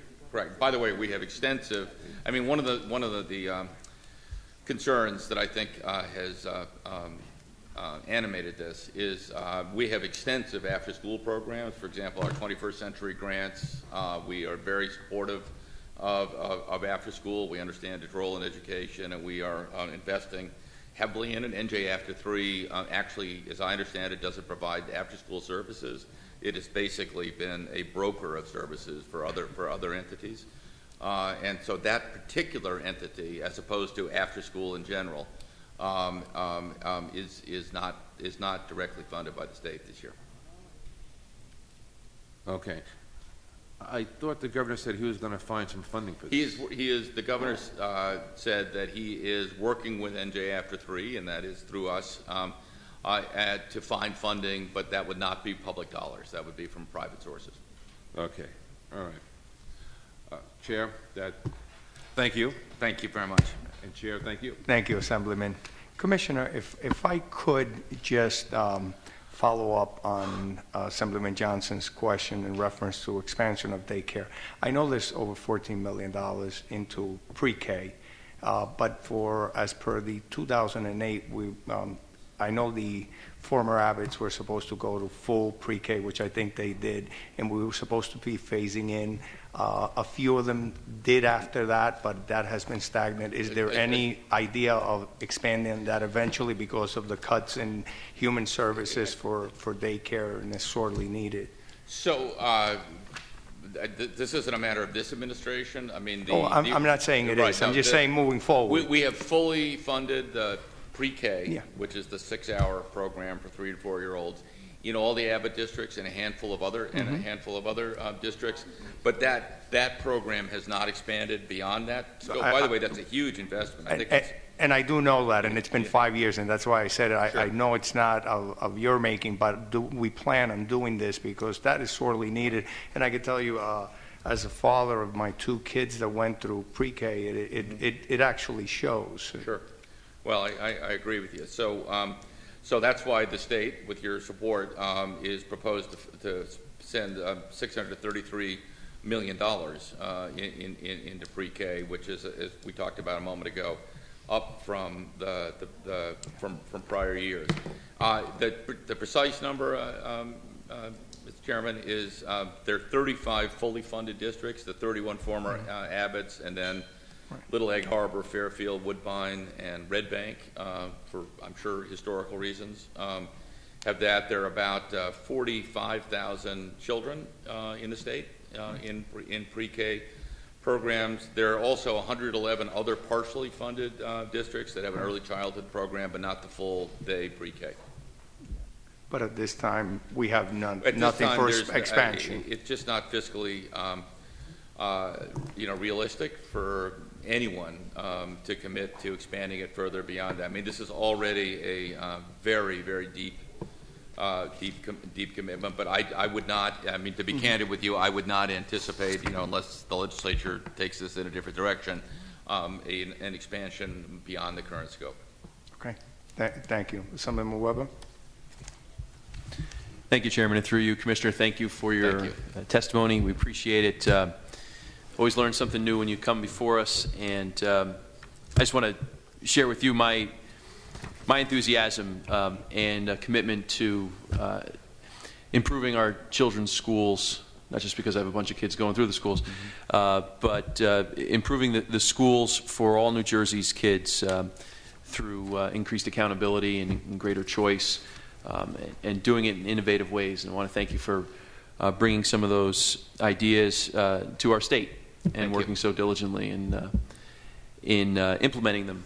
Uh, two sets of questions, or maybe discussion points, to, uh, to cover with you. One is uh, rather more general, and the other is very specific and, and kind of bite sized. Uh, the first, more general issue, uh, comes to me through your testimony and listening and, and reading it. And I, I, you said this uh, in your testimony. I think you said it again in response to a question, and it's certainly in your written testimony. You make a point of saying that uh, the effectiveness of the teacher in front of the classroom is the most important in school factor in raising student achievement. You, you made that clear. It was in school factors. Correct. Implying that there are out of school factors that would uh, also uh, play a large role in improving student achievement. Can you uh, discuss some of the out of school factors that research is showing that is uh, most important for improving student achievement? Oh, there are. Uh, yeah, I'd be happy to. The, I mean, but the, there is obviously a very high correlation between poverty and education attainment. That's the enterprise that we're all engaged in to try to um, use our schools to correct to, to correct for that. So the, the specific inclusion of the phrase "in school" was meant to be in juxtaposition to the the influences of poverty. Uh, of poverty. Now, when you break that down into some of its component component parts. Um, it certainly includes parental involvement. Uh, it certainly includes, you know, access to words. I mean, there's some very jarring studies out there that show that children who grow up in impoverished circumstances are literally exposed to a fraction of the words uh, in their early years uh, that uh, children who grow up in other circumstances are, are uh, exposed to. Um, you know, health, uh, you know, is certainly relevant. You know, literally having you know food in your stomach when you when you go to school. So, but, but they're all sort of subparts uh, uh, of, of that. I'm sure there are other factors as well, but that is that that, that is the dominant out of school uh, consideration. And you know, it can lead to, as, as it has, a very lively and sometimes heated debate around you know what is the true mission of uh, of schools. Our um, is, our um, and I can tell you that as much as I hope that, you know, legislative bodies and our society uh, addresses the concerns uh, of, of, of poverty, um, I know that, um, and, and while I understand that there are things that schools absolutely can do to try to mitigate some of the implications of poverty, you know, the education system's core competence um, is in the realm of education. And, and, and these are children who are with us for six to eight hours a day. Um, and I am convinced that we can do better with children who face disadvantage and that we should deploy all of our resources and all of our political courage around that enterprise, uh, which doesn't mean that um, we should be defeatist about the implications of poverty. But I think to say to me, for example, which I know is not where you're going, is as well, until you fix poverty, you can't fix education, which is what some people want to do. Um, I, I, actually think that in the end is, um, is defeatist because it takes schools off the hook. Schools can do a lot better, and they are every day serving kids of, uh, across the continuum uh, of need in this state uh, and, and across the country. There are plenty of schools who are serving very high needs kids, and they're hitting the ball over the fences. We're just not doing it enough. Could you uh, talk more or describe for me any initiatives that you have in mind, um, if there are any, to increase parental involvement or try to try to get parents in all communities, but especially um, in communities with uh, more challenges than others, uh, involved in their in their uh, children's academic lives? Sure. So there are some schools in the state, for example, um, that ask, um, and I, I'm, I'm not advocating this, but it's an interesting approach. They ask parents actually to sign a contract um, guaranteeing they'll come to parent-student conferences, for example, guaranteeing that they will read to their children uh, um, at night. Now, you can't, I can't say that we can police this or that we want to live in a society that polices this. But um, simply the asking um, uh, is important. Um, there are schools that, um, again, in this state, that whose teachers are, you know, and, and, and, and other staff on the school, literally, when a child doesn't show up, will go and knock on the door of the apartment or the home and say, "Where is the child?" or that your child is falling, uh, it's starting to to, to slip and, and get engaged and try to engage the parent and try, um, in the, in the sort of joint enterprise of education. So there are, are, you know, you know, you could fairly say these are things sort of around the edges uh, a, a little bit, but I do think they're meaningful. And part of our strategy in um, these so-called turnaround strategies that Assemblywoman um, uh, and I were talking about um, uh, have to do with these strategies of community and parental engagement and how student schools can be brought into the, the, the business of, of fostering engagement. Great, thank you. Um, Second, more bite-sized, very specific issue, but one that's important, uh, certainly to my community, uh, but also uh, a number of legislators uh, on the committee, was a concern that was brought to us during the public hearings for this budget year by a superintendent of, of schools from my hometown, Morris Plains, um, over the issue of um, uh, the responsibility of uh, paying for the education of children in uh, transitional uh, living facilities, whether they be the children of victims of domestic violence or, or the children of uh, homeless families. And uh, a recent administrative law or series of administrative law decisions has uh, put that burden on the community that houses these families. Um, first time in, in years, I think first time ever, that the communities have been expected to uh, pay for the um, education of, of these children and uh, really kind of breaks a, not just a tradition, but a promise that was made to communities who um, have uh, allowed these uh, facilities to uh, be placed in their communities willingly and happily to help uh, families who are uh, in trouble uh, collect no property taxes on them, obviously, um, but the deal was that the, uh, the sending districts would be responsible for the education of the children who would reside in those facilities. Uh, that has now changed, and um, a, uh small school district uh, like mine in Morris Plains uh, finds itself unexpectedly stuck with a special education bill because, of course, some percentage of the children in, in transitional living facilities are going to have special education needs. Uh, those bills can get rather large rather quick for uh, especially small communities. Um, this, uh, this issue affects probably as many as uh, 750 to 800 uh, children across the state and all the communities that have agreed to uh, house them, and again, happily house them. Um, but uh, I wanted to bring it to your attention. It was uh, something that I think caught the, caught the attention of most of the members of the committee, uh, both parties. Um, obviously, these facilities are all over the state um, in uh, many, many legislative districts. And our real concern is, first, of course, for the, the, um, the the facilities. Uh, secondly, the, the budgets for the communities that are hosting them. But thirdly, uh, for the future of these facilities and encouraging other towns uh, to uh, host them. Uh, if, if, if the host communities are continued to um, be required to, to fund the education for um, children in these facilities, it would be a disincentive to put the facilities up at all. And so I wondered if, if that had made your radar screen. If it hadn't, we wanted to put it on your radar screen and, and perhaps speak with you. We don't have to hash it out um, at, at the hearing, but wanted to uh, flag it for you, Commissioner, and uh, ask you to work with us to find a, an equitable solution to it. Well, I'm committed to doing that, and thank you for, uh, for uh, bringing it to my attention. I, I just, I, perhaps we should do it offline, but I, can I just understand one or two, one or two points? I do know that we have a line in the budget for uh, children without residence, uh, for homeless, for, for homeless uh, children. It's actually quite, is that what you're doing? It's quite a substantial uh, a a line. Unknown, they're- not, they're, uh, it looks like there's $39 million uh, in the line for uh, institutionalized children or unknown district uh, of residence.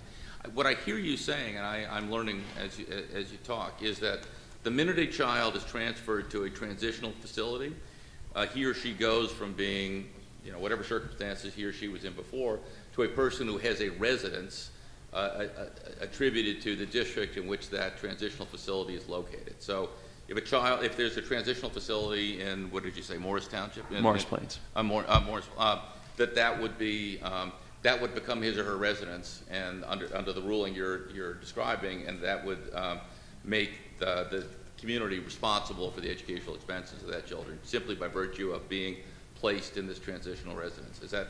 We'll put a finer, finer point on it. Actually, um, the, the ALJ decision was that, uh, you know, traditionally and historically, Yeah. the, this, you know, if, if, if a child was from Bergen County, a community in Bergen County, and was sent to Morris Plains, the community in Bergen County would be responsible for the education costs into the future. Uh, The ALJ decision was um, the Bergen County community would now be responsible for one year of the residents, uh, of the, of the, now the Morris Plains Facilities resident Yeah. uh, education. After the one year, this, the child would become the responsibility of the host Just- community. So for, Yeah. it was a, it was a one-year delay, but essentially what, what you've described is, is the, uh, is the case. Well- Well, uh, so my first reaction to it, and I look forward to learning more in conversation uh, with you, is that anything that creates and it's a disincentive for communities to accept children into, into transitional facilities in them sounds like bad public policy to me. So uh, I don't know whether this decision is under review or whether it's a faithful application of a law uh, that needs to be amended. It's something I'll need to learn more about, and I'm committed to doing that. Thank you. We appreciate that. Commissioner. No, it's, um, uh, I believe the ALJ decision has worked its way through the, the administrative law process. And again, these are children who are coming from all over the state, and some out of state, uh, to be placed in places that are um, safe and hospitable to them. And we have no problem having them, you know, my kids don't even know who the kids are, and these, they're just students in the school. And that's the way it should be. Um, But if we, if it's a, serving a, you know, a statewide public policy purpose to have them in our communities, um, perhaps the, the, the cost should be borne uh, statewide as opposed to locally. If we can work on that, that would be wonderful. Thank you, I'd, Commissioner. I'd- I'd be delighted to do that. Thank you. Thank you. Chairman, thank you. Thank you, Assemblyman. Assemblyman Wimberly.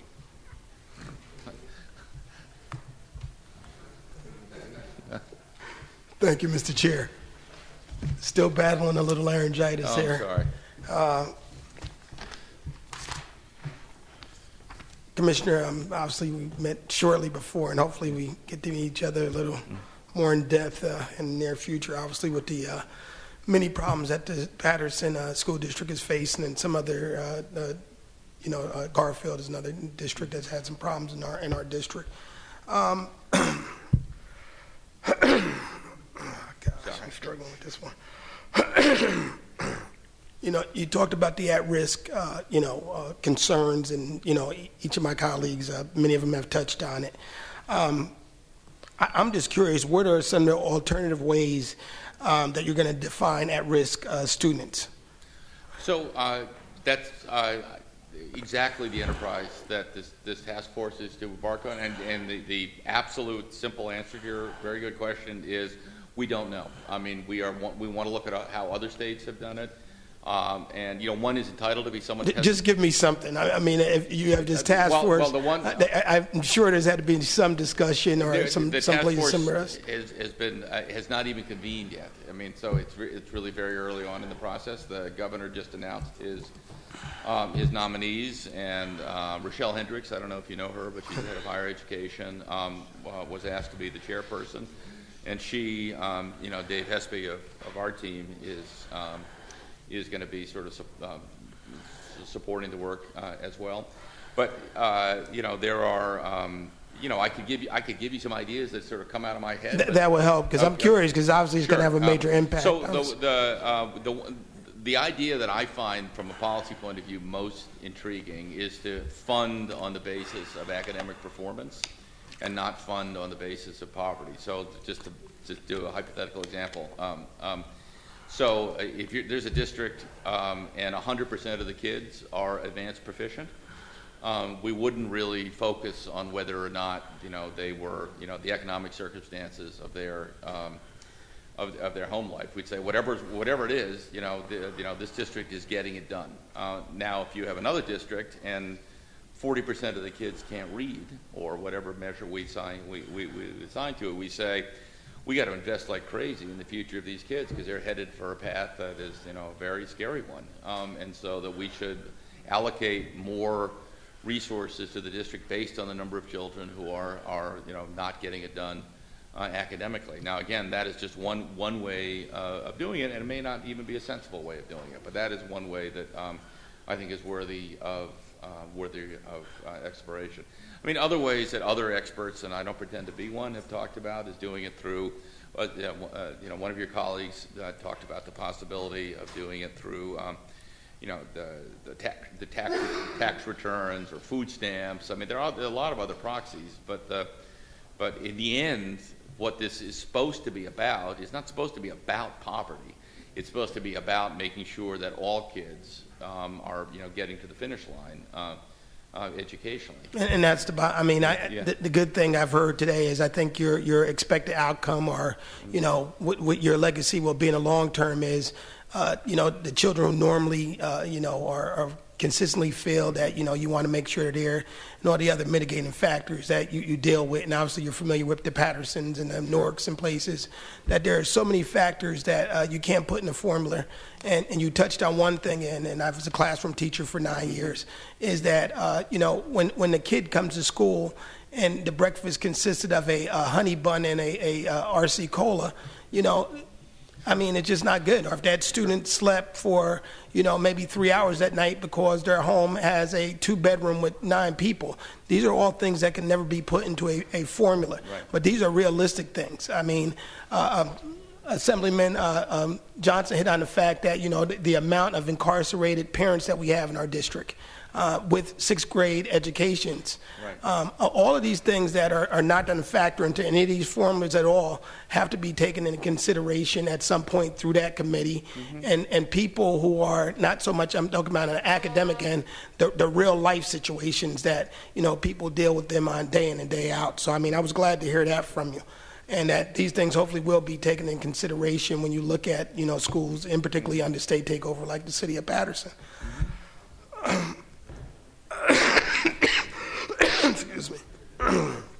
Uh, Under um, the, uh, you know, the numbers have been talked about a lot about as far as the, uh, um, the changes in um, school aid funding.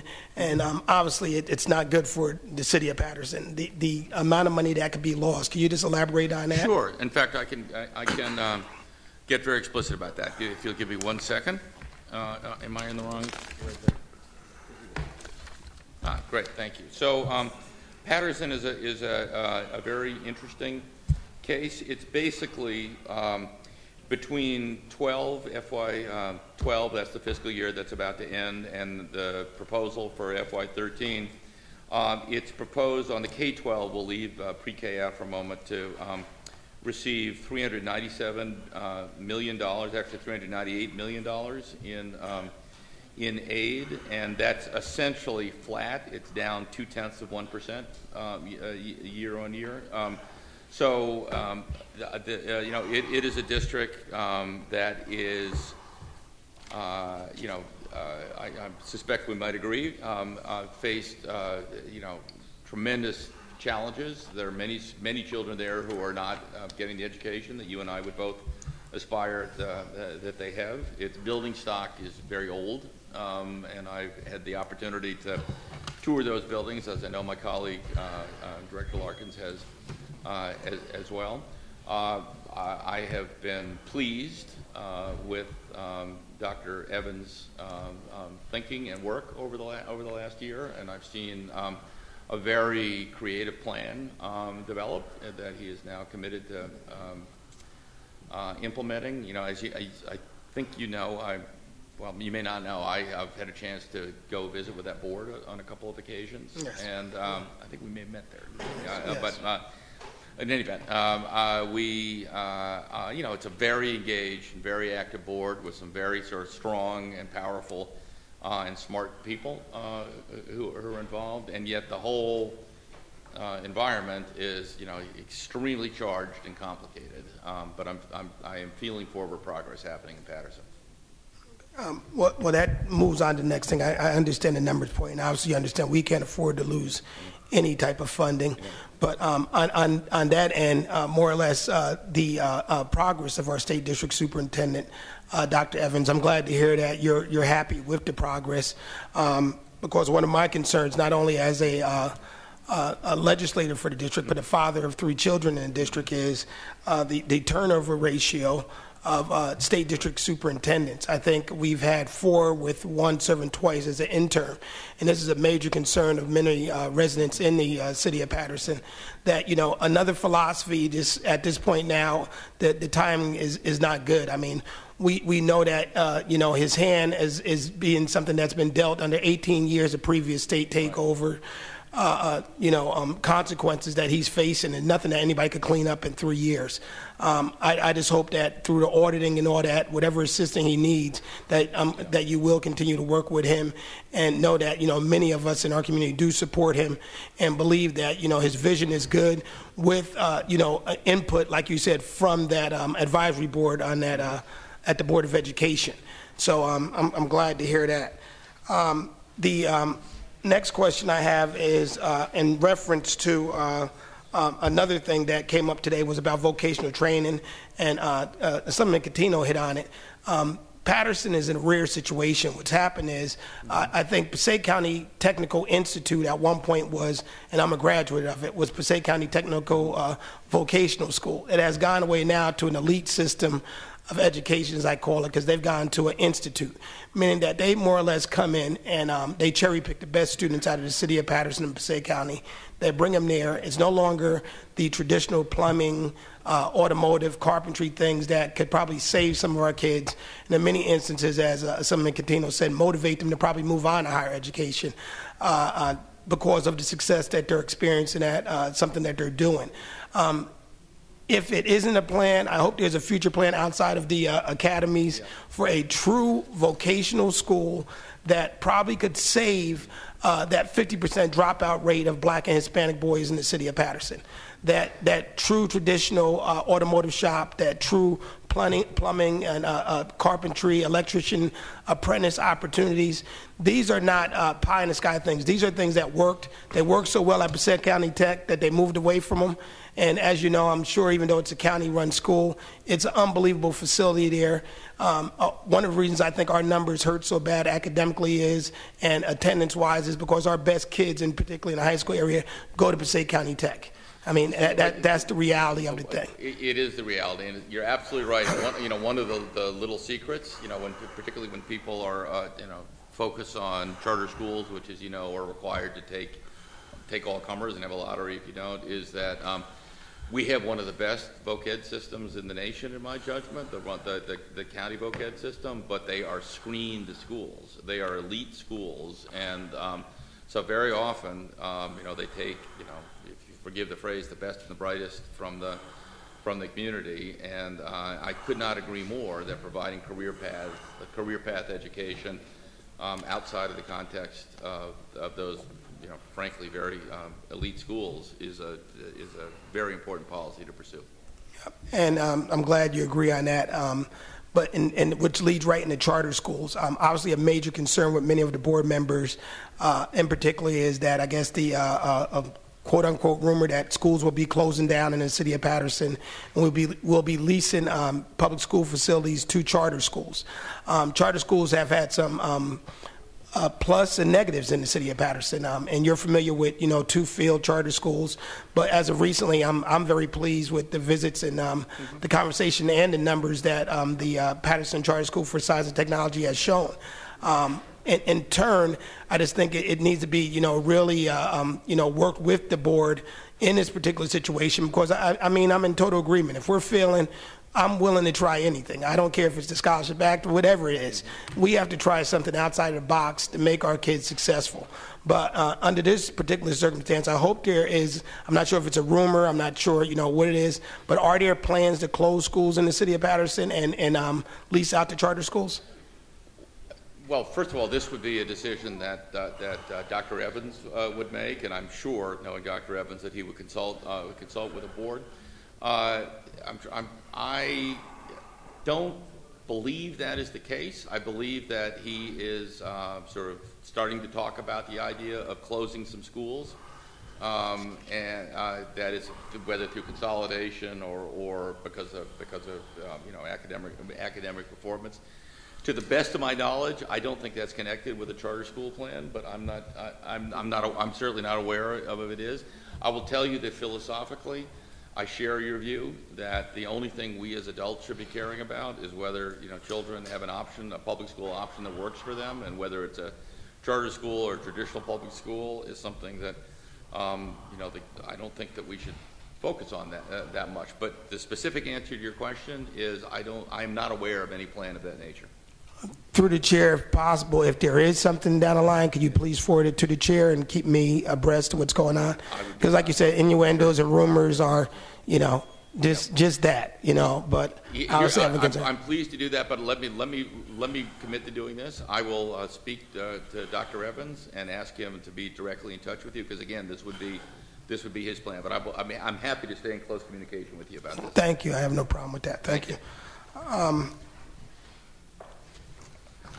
Thank you, Commissioner. Uh, Mr. Larkin, Director Larkin, uh, we had a brief meeting here um, at the break, but, uh, you know, according to reports from the DOE and SDA, Paterson facility needs are the greatest among districts in New Jersey. Uh, Bottom line is, and, and we said it briefly over here, is when can we get help? I mean, uh, you're familiar, you've, you've toured with Commissioner Cerf. I mean, uh, our buildings, and I, I'm not even sure if they took you to the worst. If you saw school number 16, you've seen the worst probably. If you've seen school number, seen uh, school number 14, but it's in between, uh, the, the problems in the wintertime with uh, no heat in buildings still. In the summertime, you can't lift windows up, and it's, it's extremely hot.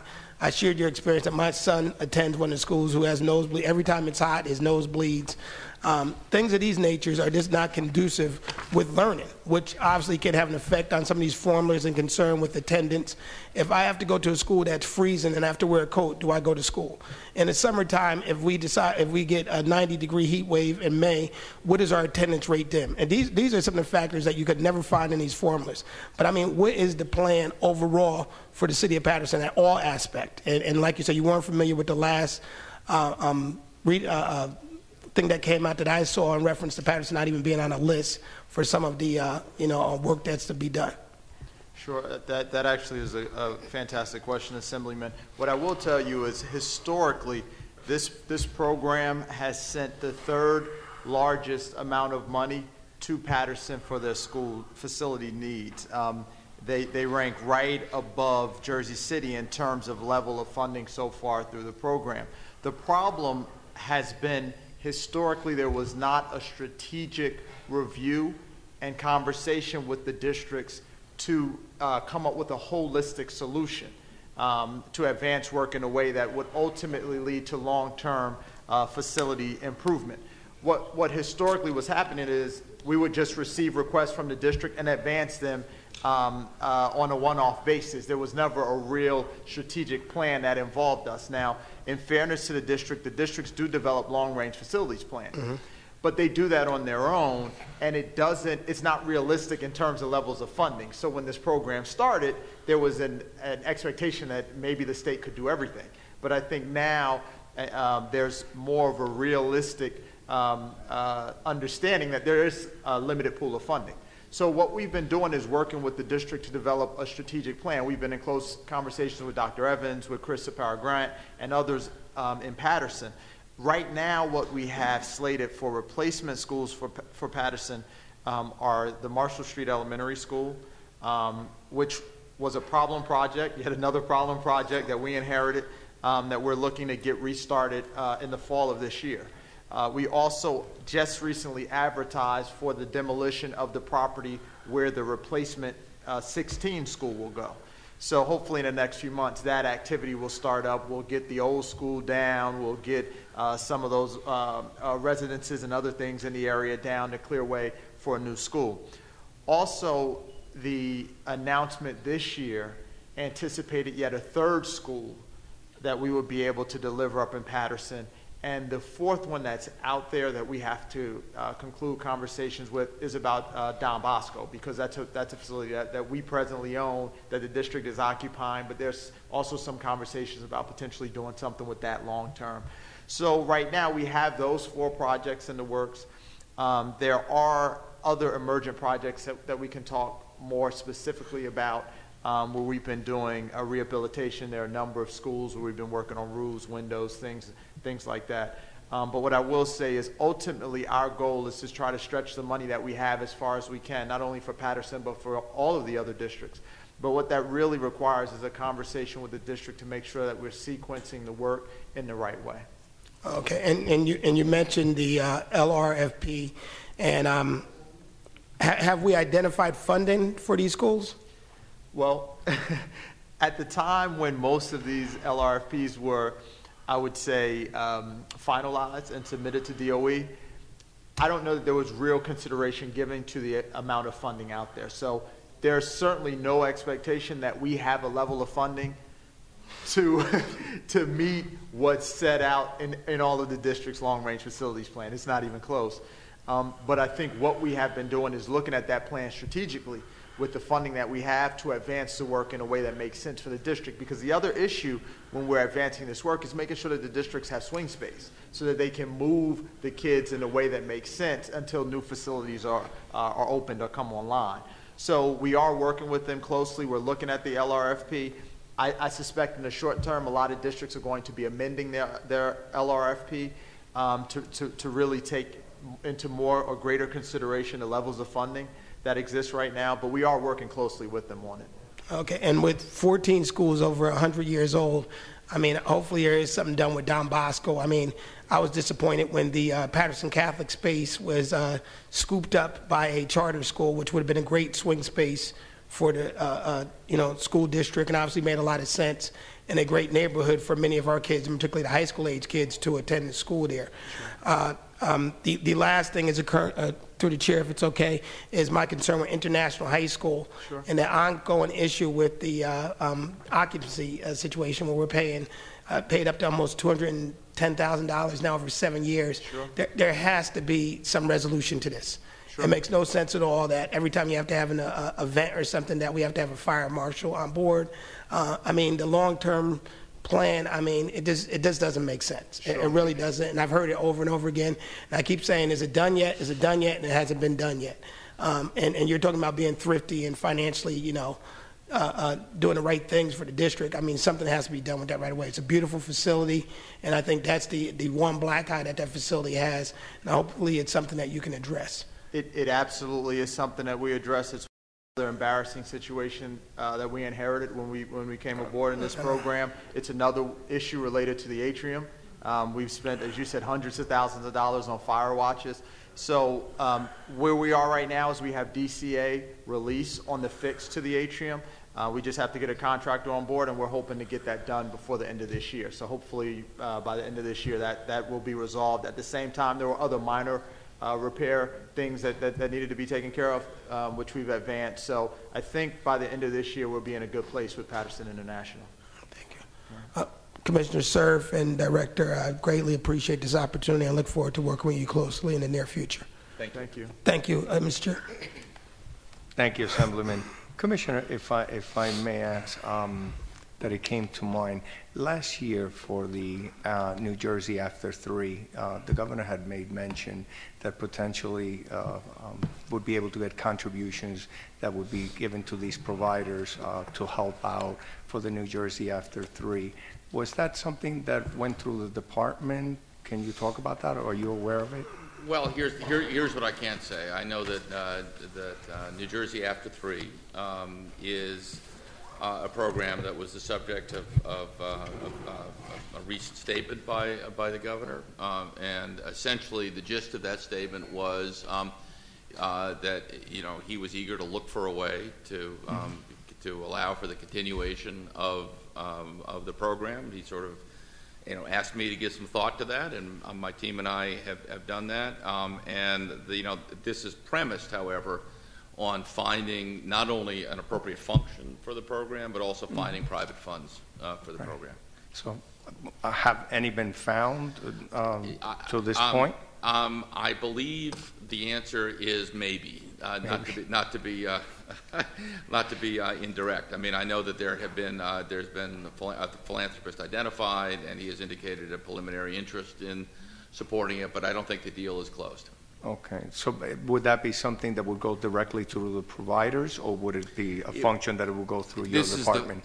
The, well, I don't think we'd ever see the money. I hope we never see the money. I think it would probably go directly, uh, directly uh, to um, the provider. I mean, I haven't thought about the structure, but the, um, but the function that NJ After Three would serve Mhm. would be something that we would be involved in designing. Okay, Tha- thank you. Thank you. Uh, Assemblyman Schaer, I believe you had a follow-up question? Thank you, Mr. Chairman.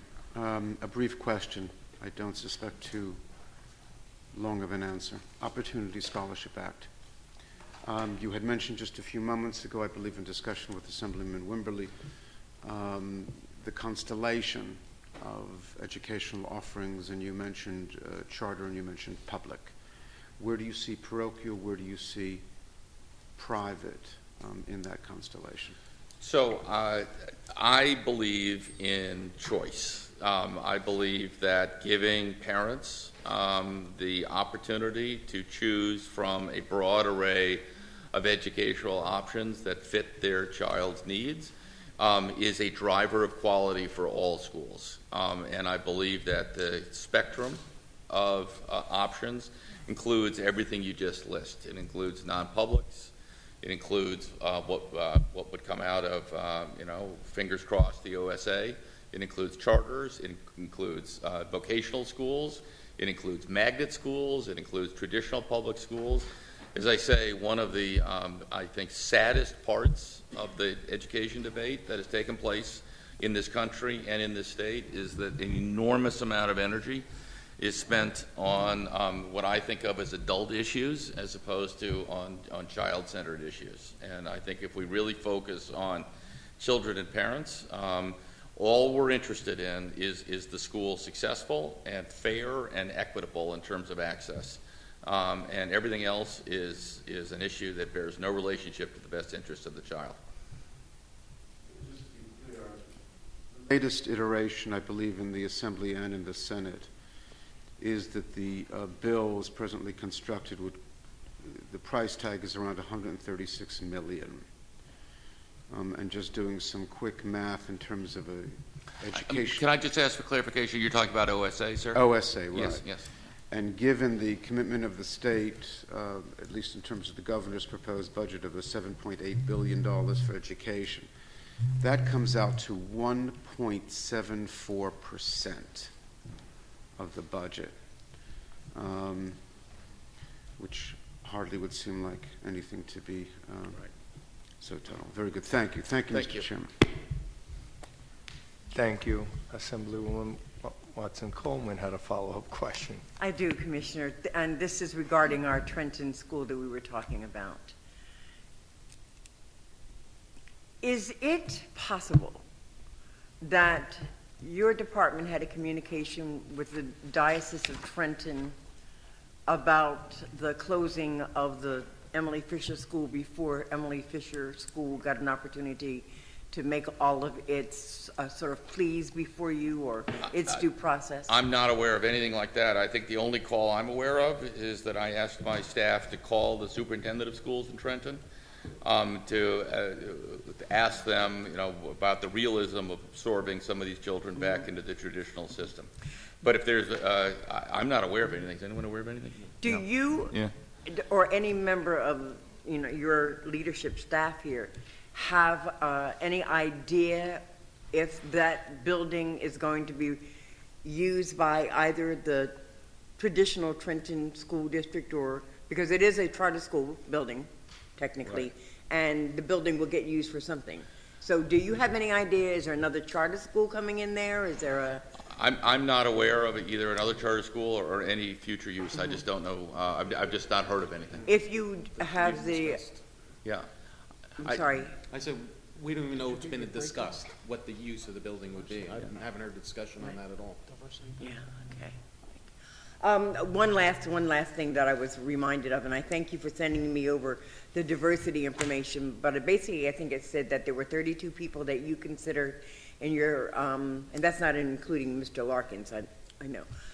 Thirty-two people that you were considering in your senior staff? That's your assistant commissioners, the, the directors, the academic officers, Correct. the innovation officer. And of those, um, um, one-eighth are minority and one-fourth are women, is that? properly? I, I, uh, I'm going to look it up as we Okay. speak, but I believe it's one-eighth, your math is better than mine, is twelve and a half percent, right? That's one-eighth, um, um, are minorities, and, uh, of the thirty-two, this is, as you say, director level. Well, um, that's what you're reporting, that's your, yes, that's your, yeah.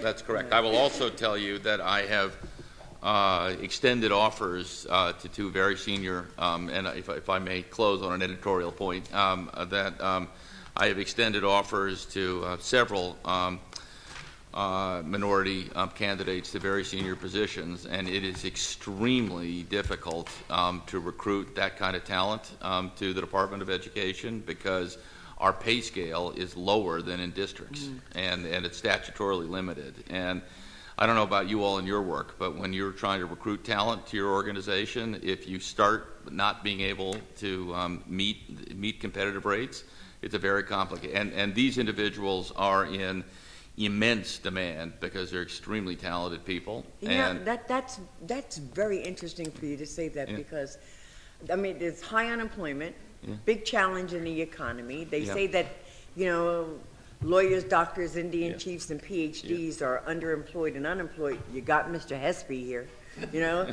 So I don't know what we're saying about him, just teasing Dave. Um, so that, that's kind of interesting that you would say that because I would think that you would have greater opportunities to recruit people who would otherwise be employed, but because of New Jersey's economy in particular.